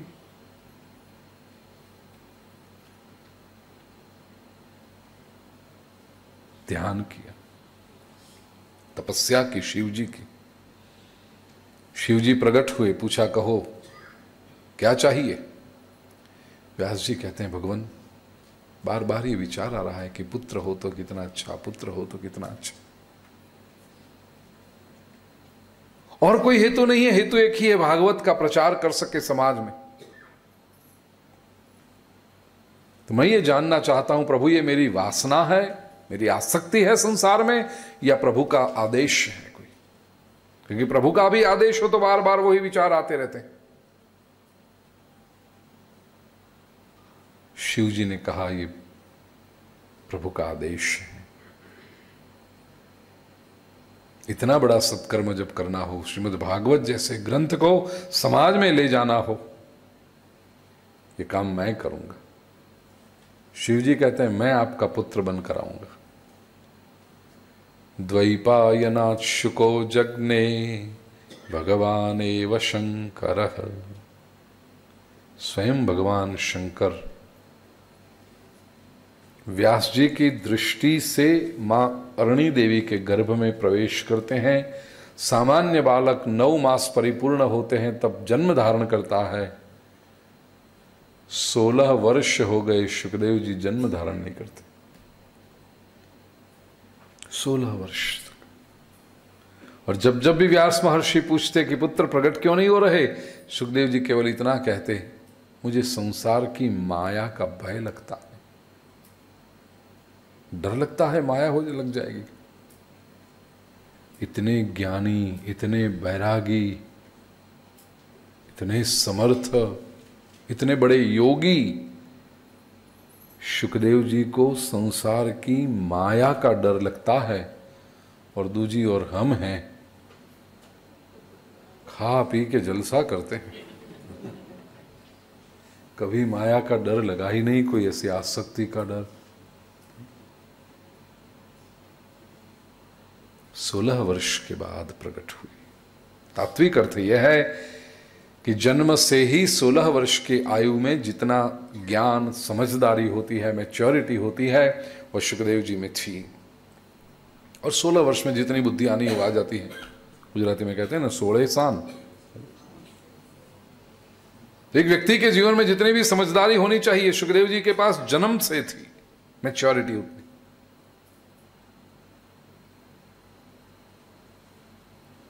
अब जरा सिंपल इक्वेशन रखो कि जन्म के समय बालक की समझदारी कितनी और वो 16 साल का हो जाए तो कितनी मल्टीपल्स कितने होते? अनंत गुना समझदारी बढ़ जाती। अब वो अनंत गुना जन्म से है इनटू अनंत गुना तो कितनी समझदारी सुखदेव जी के पास आई? ऐसे सुखदेव। लेकिन जैसे ही जन्म धारण किया, नाल, एम्बिली कॉर्ड एम्बिलिकल कॉर्ड कंधे पर डाली। नालत छेदन भी नहीं हुई। कंधे पर डाल दी। माँ के गर्भ की उल्ब ओढ़ जिसको गुजराती में कहते हैं, वो भी अभी तक शरीर पर लगी हुई है। मतलब जन्म लेने के बाद पहला स्नान भी नहीं किया। घर से निकल पड़े। यम प्रव्रजंत। प्रव्रजंत, निकल पड़े।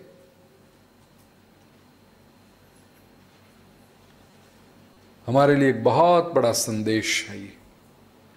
हम संसार की आसक्ति में इतने अंधे हुए हैं कि हमें पूरा जीवन चला जाता है, तब भी निकलने जैसा लगता ही नहीं।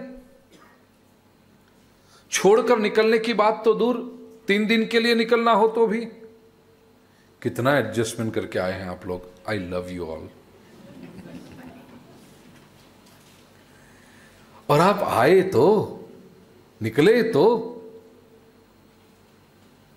एक एक व्यक्ति ने कितने लोगों से पूछा होगा, हम जा रहे हैं, चलो आप आप रहोगे तो अच्छा रहेगा रूम पार्टनर भी हम ही बनेंगे, कोई नया आ जाए उससे तो बेहतर है, आप रहो। नहीं है, नहीं निकले। पूरा जीवन चला जाता है, नहीं निकल पाते। निकलने का समय कौन सा? सुखदेव जी ने आचरण से बता दिया, जन्म लेकर तुरंत निकलो। प्रव्रजंतम। माया से अगर बचना है तो पहले फंसो और बाद में बचो। अगर बचना ही है तो पहले से बचो। ये तो ऐसी बात हुई कि पहले बीमार हो जाओ, फिर दवाई करके स्वस्थ हो जाओ। तो भला बीमार होना ही क्यों है? पहले से ही स्वस्थ न रहे। जन्म के बाद तुरंत निकले। प्रव्रजंत श्रुति कहती है यद हरेव विरजेत तद हरेव प्रव्रजेत। जिस दिन विरजा आ जाए,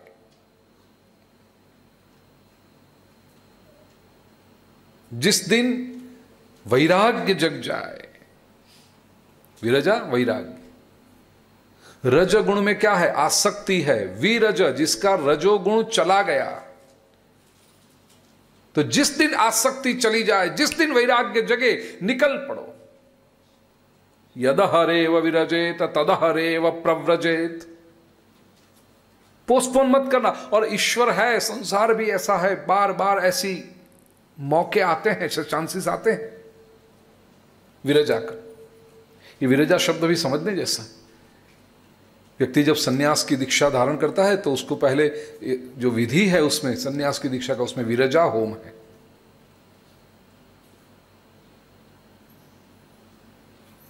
महाराज श्री बैठे हैं ना, उन्होंने सन्यास की दीक्षा धारण की है बहुत छोटी उम्र में।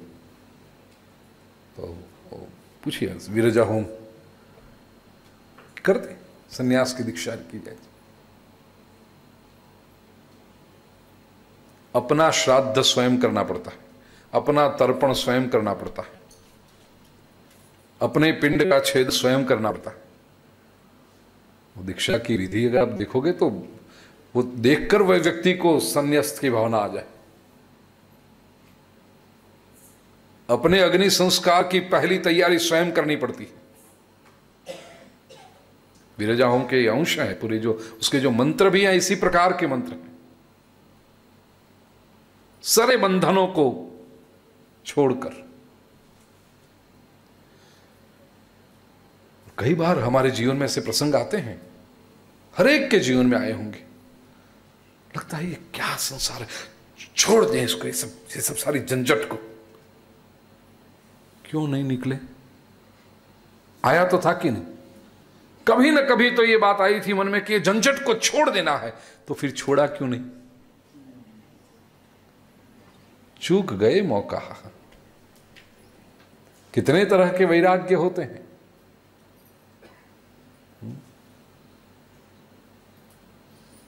भोग के बाद वैराग्य आता है। ये मौका है एक। भोग भुगतते समय तो एकदम आकर्षण आता है। वाह वाह वाह, कितना आनंद आएगा, कितना मज़ा आएगा। उसी के विचार आते हैं। लेकिन भोग भुगत लिया फिर दूर हो जाते वैराग्य आ जाता किसी भी भोग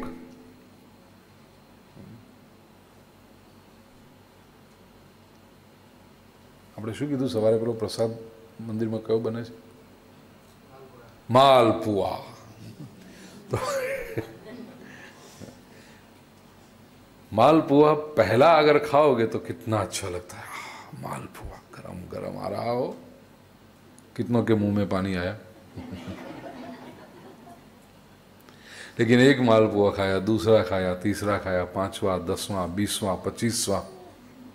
फिर अब कोई आगे देने आए, नहीं नहीं अब एक ले लो ना, पच्चीस तो हो गए, एक नहीं नहीं नहीं एक पण नहीं, एक भी नहीं, क्यों? ये वैराग्य आया आपको। चलो, इतना अच्छा वैराग्य आ गया, अब नहीं खाओगे ना ज़िंदगी में कभी? कल वापस लाओ, कल खाएँगे।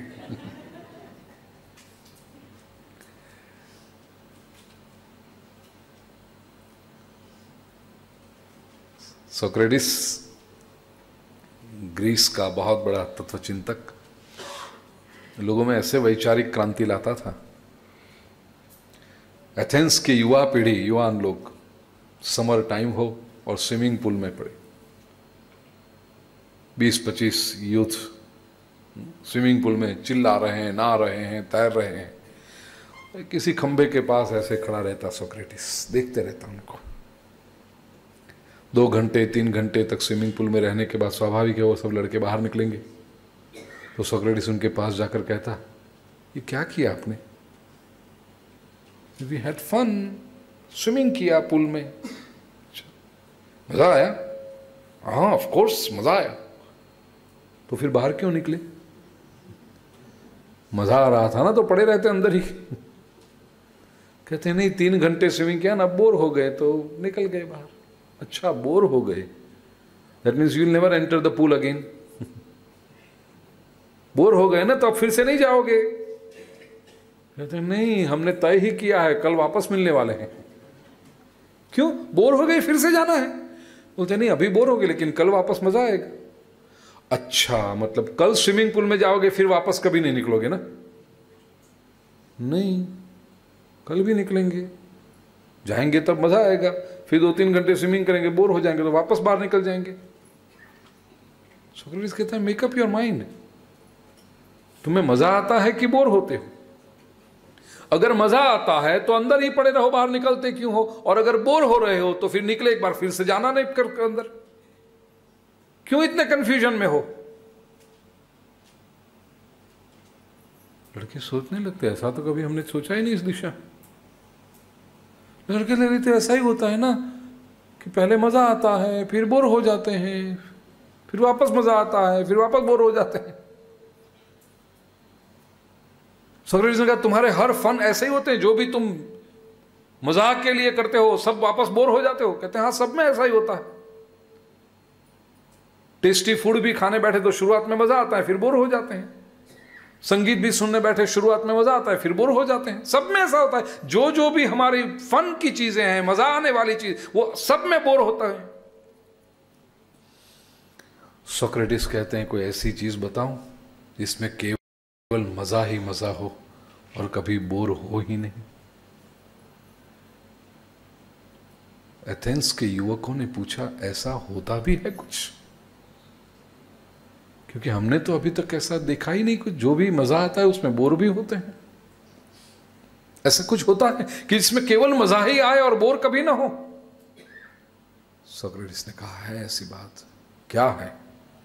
सोक्रेटिस ने कहा, तत्व चिंतन फिलोसॉफी अध्यात्म ऐसी, ऐसा एक क्षेत्र है स्पिरिचुअलिटी एक ऐसा फ़ील्ड है, जिसमें एक बार आप एंटर हो गए फिर आनंद ही आनंद आएगा, उसमें बोर होने का सवाल ही नहीं है। अब जो केवल स्विमिंग पूल से ही अंदर बार अंदर बार करते रहे दुनिया में और कुछ देखा ही नहीं, उसको क्या पता फिलोसॉफी? पूछते, फिलोसॉफी क्या होती है? सुक्रेटिस कहते, आओ मेरे घर, बताऊँगा। बैठो मेरे साथ। धीरे धीरे धीरे सोक्रेटिस ऐसे युवा पीढ़ी को अपनी ओर आकर्षित करते जाता था। और एक बार जब सोक्रेटिस की बात सुन ली, जो भी विचक्षण हो, बुद्धिमान हो आईक्यू लेवल उसका कुछ हो, समझदारी का, वो कैसे फिर ठुकराएगा उसको? उसे तो अच्छा ही लगेगा।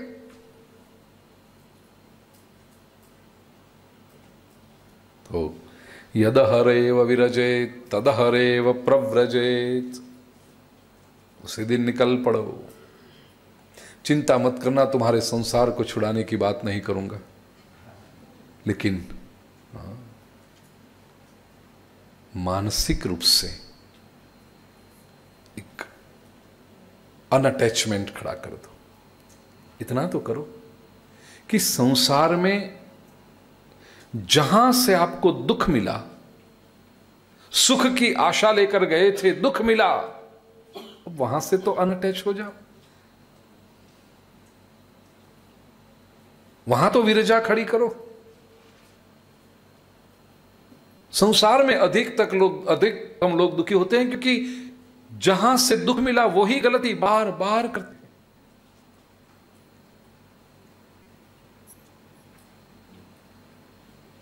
एक बार गलती हो गई, समझ सकते हैं। पुनरावर्तन क्यों कर रहे हो? Why read mistakes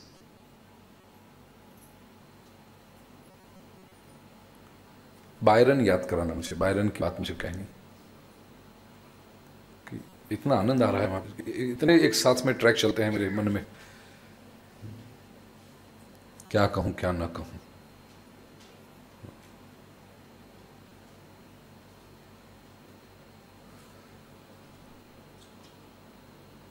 don't repeat your mistakes हमारे जीवन में दुख आते हैं। It's by repeating the same mistake भगवान महावीर के पास जब कोई व्यक्ति जाता था, और अधिकतर लोग दुखों की निवृत्ति के लिए ही महापुरुषों के पास जाते हैं। सब लोग कहते, बहुत दुखी हैं। क्यों? पहला व्यक्ति क्या उसने कहा, संपत्ति नहीं है ना। पैसा मिल जाता तो बहुत सुखी हो जाते। महावीर ने कहा अच्छा लगता है तुझे कि पैसा मिलने से सुखी हो जाओगे? कहा हाँ। महावीर के पास ऐसी शक्ति थी कि वो किसी भी व्यक्ति को उसके पास्ट बर्थ में ले जाते थे। हिप्नोसिस से ये संभव है। You can go into your past birth Mahavir ले जाते थे उसको। और बताते, उसको रियलाइज़ कराते, देखते रहे इतने जन्म हो चुके और कितने जन्मों में तू कितना पैसे वाला रहा? सुख मिला तुझे? फिर अभी भी चाहता है फिर से। अब देखो, उसे संपत्ति की निंदा करने की ज़रूरत नहीं, क्योंकि वो व्यक्ति ने खुद देख लिया कि पैसा था, फिर भी मैं सुखी नहीं हुआ। I don't want to repeat the same mistake दूसरा कोई व्यक्ति आया, वो कहे कि ब्याह करना है। पत्नी नहीं मिलती, इसलिए दुखी हूँ। महावीर कहते अच्छा ले जाते ट्रांस में। जन्म जन्मांतर की यात्रा करा देते देख, हर जन्म में पत्नी मिली है तुझे। और पत्नी को पति मिला है। हुए सुखी? नहीं। Do want to repeat the mistake दिलवा दो पत्नी तुझे, बड़ा आसान है। Do want to repeat the mistake वही व्यक्ति कह देता, नहीं। उसकी इच्छाएँ गिर जाती। क्योंकि जिस जिस बात की इच्छा हमें होती है, एक बात तो स्पष्ट है कि उसका अनुभव हम कर चुके हैं। क्योंकि अगर अनुभव ना होता तो इच्छा ही ना होती। द वेरी फैक्ट कि वो इच्छा आ रही है, इसका मतलब है कि हम अनुभव कर चुके हैं। मनोवैज्ञानिक कहते हैं roots of any desire lie in the past experience if you do not have a past experience you will never desire a thing Africa के आदिवासी ने जलेबी नहीं खाई, वो कभी भी नहीं सोचेगा कि मुझे जलेबी की इच्छा हो रही है। क्योंकि उसको पता ही नहीं जलेबी क्या होती। मालपुआ अफ्रीका का आदिवासी नहीं सोचेगा मुझे मालपुआ खाना है। क्योंकि उसे पता ही नहीं मालपुआ क्या होता। अनुभव ही नहीं उसको।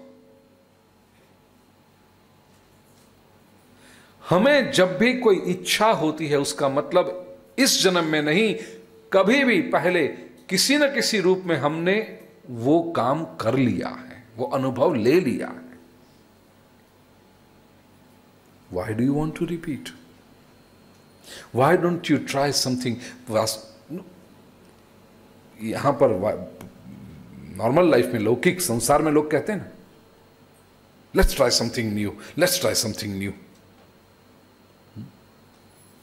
south Indian north Indian बहुत हो चुका। Let's try something new Thai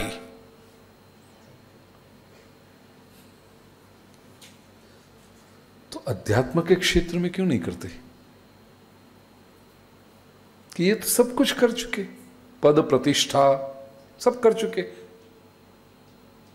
Let's try something new let's try God सब कुछ पाया। ईश्वर को अभी तक नहीं पाया। तो फिर इस जन्म का सदुपयोग क्यों न कर लें? ईश्वर को पा लें प्रव्रजेत। यद हरेव विरजेत तद हरेव प्रव्रजेत? इतनी बातें सुनकर कल आना यहाँ पर। हाँ नहीं तो विरजयत आ जाएगा।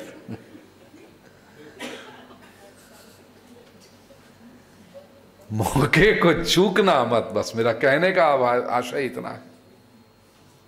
मौके को चूकना मत।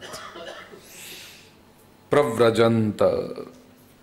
सुखदेव जी जा रहे हैं, पीछे पीछे व्यास महर्षि जा रहे हैं। और पुकार करते हैं। द्वैपायनो, व्यास महर्षि के लिए शब्द रखा, द्वैपायनो, द्वैपायन। द्वैपायन शब्द का अर्थ है द्विर्गत आप यस्मिन स द्वीप। द्विर्गत आपो यस्मिन सद्वीप जिसकी दोनों तरफ़, और दो तरफ़ मतलब चारों तरफ़, पानी है, उसे कहते हैं द्वीप। ये द्वीप जिसका अयन है तदयनम स्थानम यस्यास्ति सद्वीपायन। ये द्वीप जिसका घर है, द्वीप जिसका स्थान है, वो द्वीपायन, स एव द्वीपायन। उसी को कहते हैं द्वीपायन मतलब जो द्वीप पर रहता है। व्यास जी के लिए यहाँ पर शब्द प्रयोग किया, द्वीपायन। बात ऐसी है कि व्यास जी का जन्म हुआ, उसके बाद उनके पिताजी पराशर और माँ वासवी जी ने उनको एक द्वीप पर, एक आइलैंड पर रख दिए थे। और वैसे ही बड़े हुए। अब जरा सोचना, स्वयं व्यास महर्षि द्वीप पर रहकर बड़े हुए हैं मतलब अकेले बड़े हुए वॉज़ अलोन तो संसार से अलग रहना, संसार से दूर रहना, अकेले रहना। ये व्यास महर्षि के लिए कोई बड़ी बात नहीं है। He is use to it लेकिन ये आसक्ति देखो कि वो स्वयं जैसा जीवन जिए हैं, उसी तरह उनका पुत्र, फ़र्क इतना है कि व्यास जी को छोड़ दिया गया था सुखदेव जी स्वयं जा रहे हैं। Otherwise it's the same Parashar ji ने और वासवी जी ने व्यास का जन्म होते ही उनको छोड़ दिया बे और यहाँ सुखदेव अपनी समझ से जा रहे हैं। लेकिन वो पिता सहन नहीं कर पाए। भावुक हो गए। पुत्रेति पुत्र पुत्र। अब संस्कृत व्याकरण की दृष्टि से देखोगे ना तो पुत्र इति, इसकी संधि होती नहीं है। शब्द अपने शास्त्रों में आप बार बार नहीं देखोगे, पुत्र इति। पुत्र इति, ये संधि ऐसे नहीं होती। प्लुत कहते हैं उसको। नहीं होती ऐसे। लेकिन यहाँ पर की। क्यों? क्योंकि भावुकता से व्यास जी इतने गदगद हो चुके थे कि शब्द पर वहीं रुक नहीं पाए। इसलिए इति जोड़ दिया, नहीं तो पुत्र शब्द टूट जाता। देखिए, आप जब बहुत भावुक हो जाते हैं ना तो आप शब्द पूरा नहीं कर पाते। और जब शब्द पूरा नहीं कर पाते तो और शब्द उसके साथ जोड़ते जाते हो। इसलिए यहाँ पुत्रेति हुआ। भावुकता जब आ जाती है तो बस इतनी इच्छा है। इच्छा है कि आप आप जल्दी से आ जाओ। आप अधिक बोल। अगर नहीं बोला जाता तो मत बोलो ना, शांत बैठो उस समय। नहीं, अत्यंत भावुकता होगी तो you want to express yourself दो you can't but you want to जोड़ते जाओगे शब्दों को। पुत्रेति हे पुत्र हे पुत्र, पुकारते चले। उत्तर कहाँ से मिला? वृक्षों में से। तन्मयतया तरवोभिनेदु तरव प्लुरल है। वृक्षों में से अभिनेदु। उत्तर आया। क्यों भावुक हो गए व्यास जी? चलो प्रश्न ये होता है कि आप तो स्वयं जन्म लेकर तुरंत द्वीप के ऊपर चले गए थे आइलैंड के ऊपर चले गए थे। पूरा जीवन आप अकेले रहे हैं। तो फिर पुत्र को क्यों रोकते हो?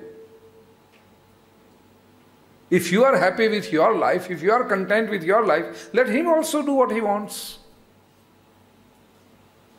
नहीं, गदगद हुए, पीछे पुकारने चले, क्यों? कारण एक ही था। जिस हेतु से पुत्र मांगा था प्रभु के पास उस हेतु को परिपूर्ण किए बिना पुत्र जा रहा था। पुत्र मांगा था इसलिए कि भागवत पढ़े, पुत्र मांगा था इसलिए कि भागवत का प्रचार हो समाज में, और यह किए बिना ही जा रहा है। ये पहला कारण, और दूसरा कारण, उत्तम वस्तु है, वो लिए बिना जा रहा है। इसलिए गदगद हो गए। The very purpose of having a son is defeated इसलिए गदगद हो गए। लेकिन वृक्षों में से उत्तर आया। तरवो भी नहीं दो। तन्मयतया। यहाँ जो तत्मयतया, तन्मयतया। तत् शब्द सुखदेव जी का प्रतिपादन करता है। तन्मयतया, शुकमयतया। महापुरुषों की उपस्थिति ऐसी होती है कि जंगल में से सुखदेव जी जहाँ से निकले, वहाँ के वृक्ष भी शुकमय हो गए। ये महापुरुषों का प्रभाव है, एक बार आप उनके संपर्क में आओ, तब आप फिर उनको भूल नहीं पाओगे। यूँ तो संसार में आप कितने लोगों के टच में आते हो? मिलते हो, भूल जाते हो, मिलते हो, भूल जाते हो। लेकिन महा, जो प्रभावी चेतना है एनलाइटन सोल है, उनके संसर्ग में, उनके कांटेक्ट में आप एक बार आ गए फिजिकली मिलना संभव हो, न हो, दूसरी बात है यू नेवर फॉरगेट देम उनके मय हो गए आप। क्यों? क्योंकि उन्होंने आपके शरीर के साथ संबंध नहीं बनाया, उन्होंने आपकी आत्मा के साथ संबंध बनाया। They touch your soul they engrave your soul not just touch they engrave एक अमीट चिन्ह अंकित कर जाते हैं। मिलना न मिलना ये तो बहुत फिजुल बात है। फिजिकली मिलना न मिलना। तन्मयतया, शुकमयतया। तरव, अभिनेदु।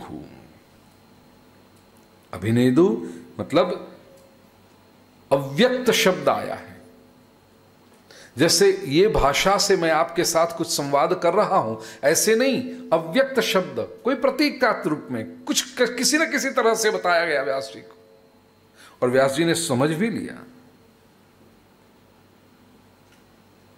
कैसे क्यों कर सके? क्योंकि सुखदेव जी सर्वभूत हृदयम है। सबके हृदय को छूते हैं। सबके हृदय को जानते हैं। केवल शरीर से संपर्क होगा, आप आसानी से भूल जाओगे, लेकिन हृदय से आप जिसके साथ इन्वॉल्व हो गए, अब उसको भूल नहीं पाओगे। इमोशनल अटैचमेंट जिसके साथ हो गया, अब आप भूल नहीं पाओगे। लाख कोशिश करो, नहीं भूल पाओगे। सर्व जीव मात्र के हृदय से जो जुड़े हुए हैं, ऐसे सुखदेव जी। मनुष्यों के तो जुड़े हृदय से, वृक्षों के हृदय से भी जुड़े हुए हैं। ये चेतना कितनी व्यापक है। याद रखना, मनुष्य की चेतना जितनी कुंठित, उतना मनुष्य कम लोगों के साथ कम्युनिकेट कर सकेगा। जितना, दूसरे शब्दों में कहूँ, जितना व्यक्ति दुखी तो उतना वो क्लोज रहेगा। He won't like to meet people अकेला अकेला बैठा रहेगा सुन मुनसा पड़ा रहेगा, कोई बुलाए तो भी नहीं बोलेगा। क्यों? क्योंकि भीतर से वो टूटा हुआ है, भीतर से बिखरा हुआ है। और भीतर से जो प्रसन्न है he would like to go out meet people communicate enjoy महापुरुष की चेतना इतनी विकसित है कि वो सबके साथ कनेक्शन कर लेती। पहली बार भी मिलो तो ऐसा लगता है मानो जन्म जन्मांतर से मिले हुए हो। यू वोंट फील कि आज पहली बार मिले। ओ, इनको तो कब से जानते हैं? क्योंकि पहली मुलाकात में इतनी आत्मीयता निर्माण कर दे टच योर सोल डायरेक्टली सर्वभूत हृदय वृक्षों के साथ भी। सुनी है ना आपने कहानियाँ? कि महापुरुषों के सानिध्य में पशु भी अपने स्वभाव को भूल जाते हैं। महापुरुषों के आश्रम में शेर और मृग एक ही तट पर साथ में आकर के जल पीते हैं। क्यों? क्योंकि सभी की आत्मा को जोड़ लिया। विरुद्ध स्वभाव, अब जब शेर और मृग भी एक साथ में पानी पिए तो हम तो इंसान हैं। हो सकता है थोड़ा थोड़ा डिफरेंस हो ओपिनियन कभी हो, किसी का स्वभाव अलग, किसी का अलग। लेकिन इनके साथ कई बार लोग कहते हैं ना, यूँ तो इनके साथ बात ना करूँ, लेकिन क्या करें, आप है तो फिर।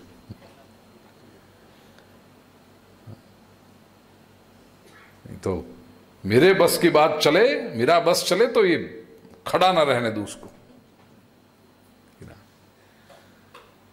तो मैं हमेशा कहता हूँ कि शेर और मृग तो नहीं हो ना आप। हमारे भोले बाबा की सभा में, परिवार में देखो। शेर बैठा है, नंदी बैठा है, सांप बैठा है, मयूर बैठा है। कितने विपरीत स्वभाव के एक साथ। तो ऐसा ये परिवार जो है, साथ। सर्वभूत हृदय मुनिमान तोस्मी मुनि को मैं नमस्कार करता हूँ। मुनि जो मननशील है वो मुनि।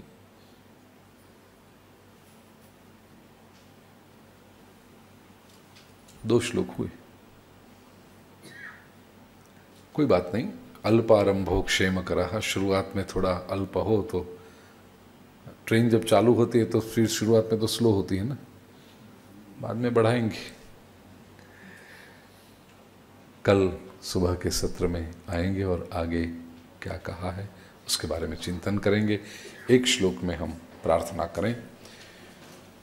मूकं करोति वाचालं पङ्गुल्लङ्घयते गिरिं।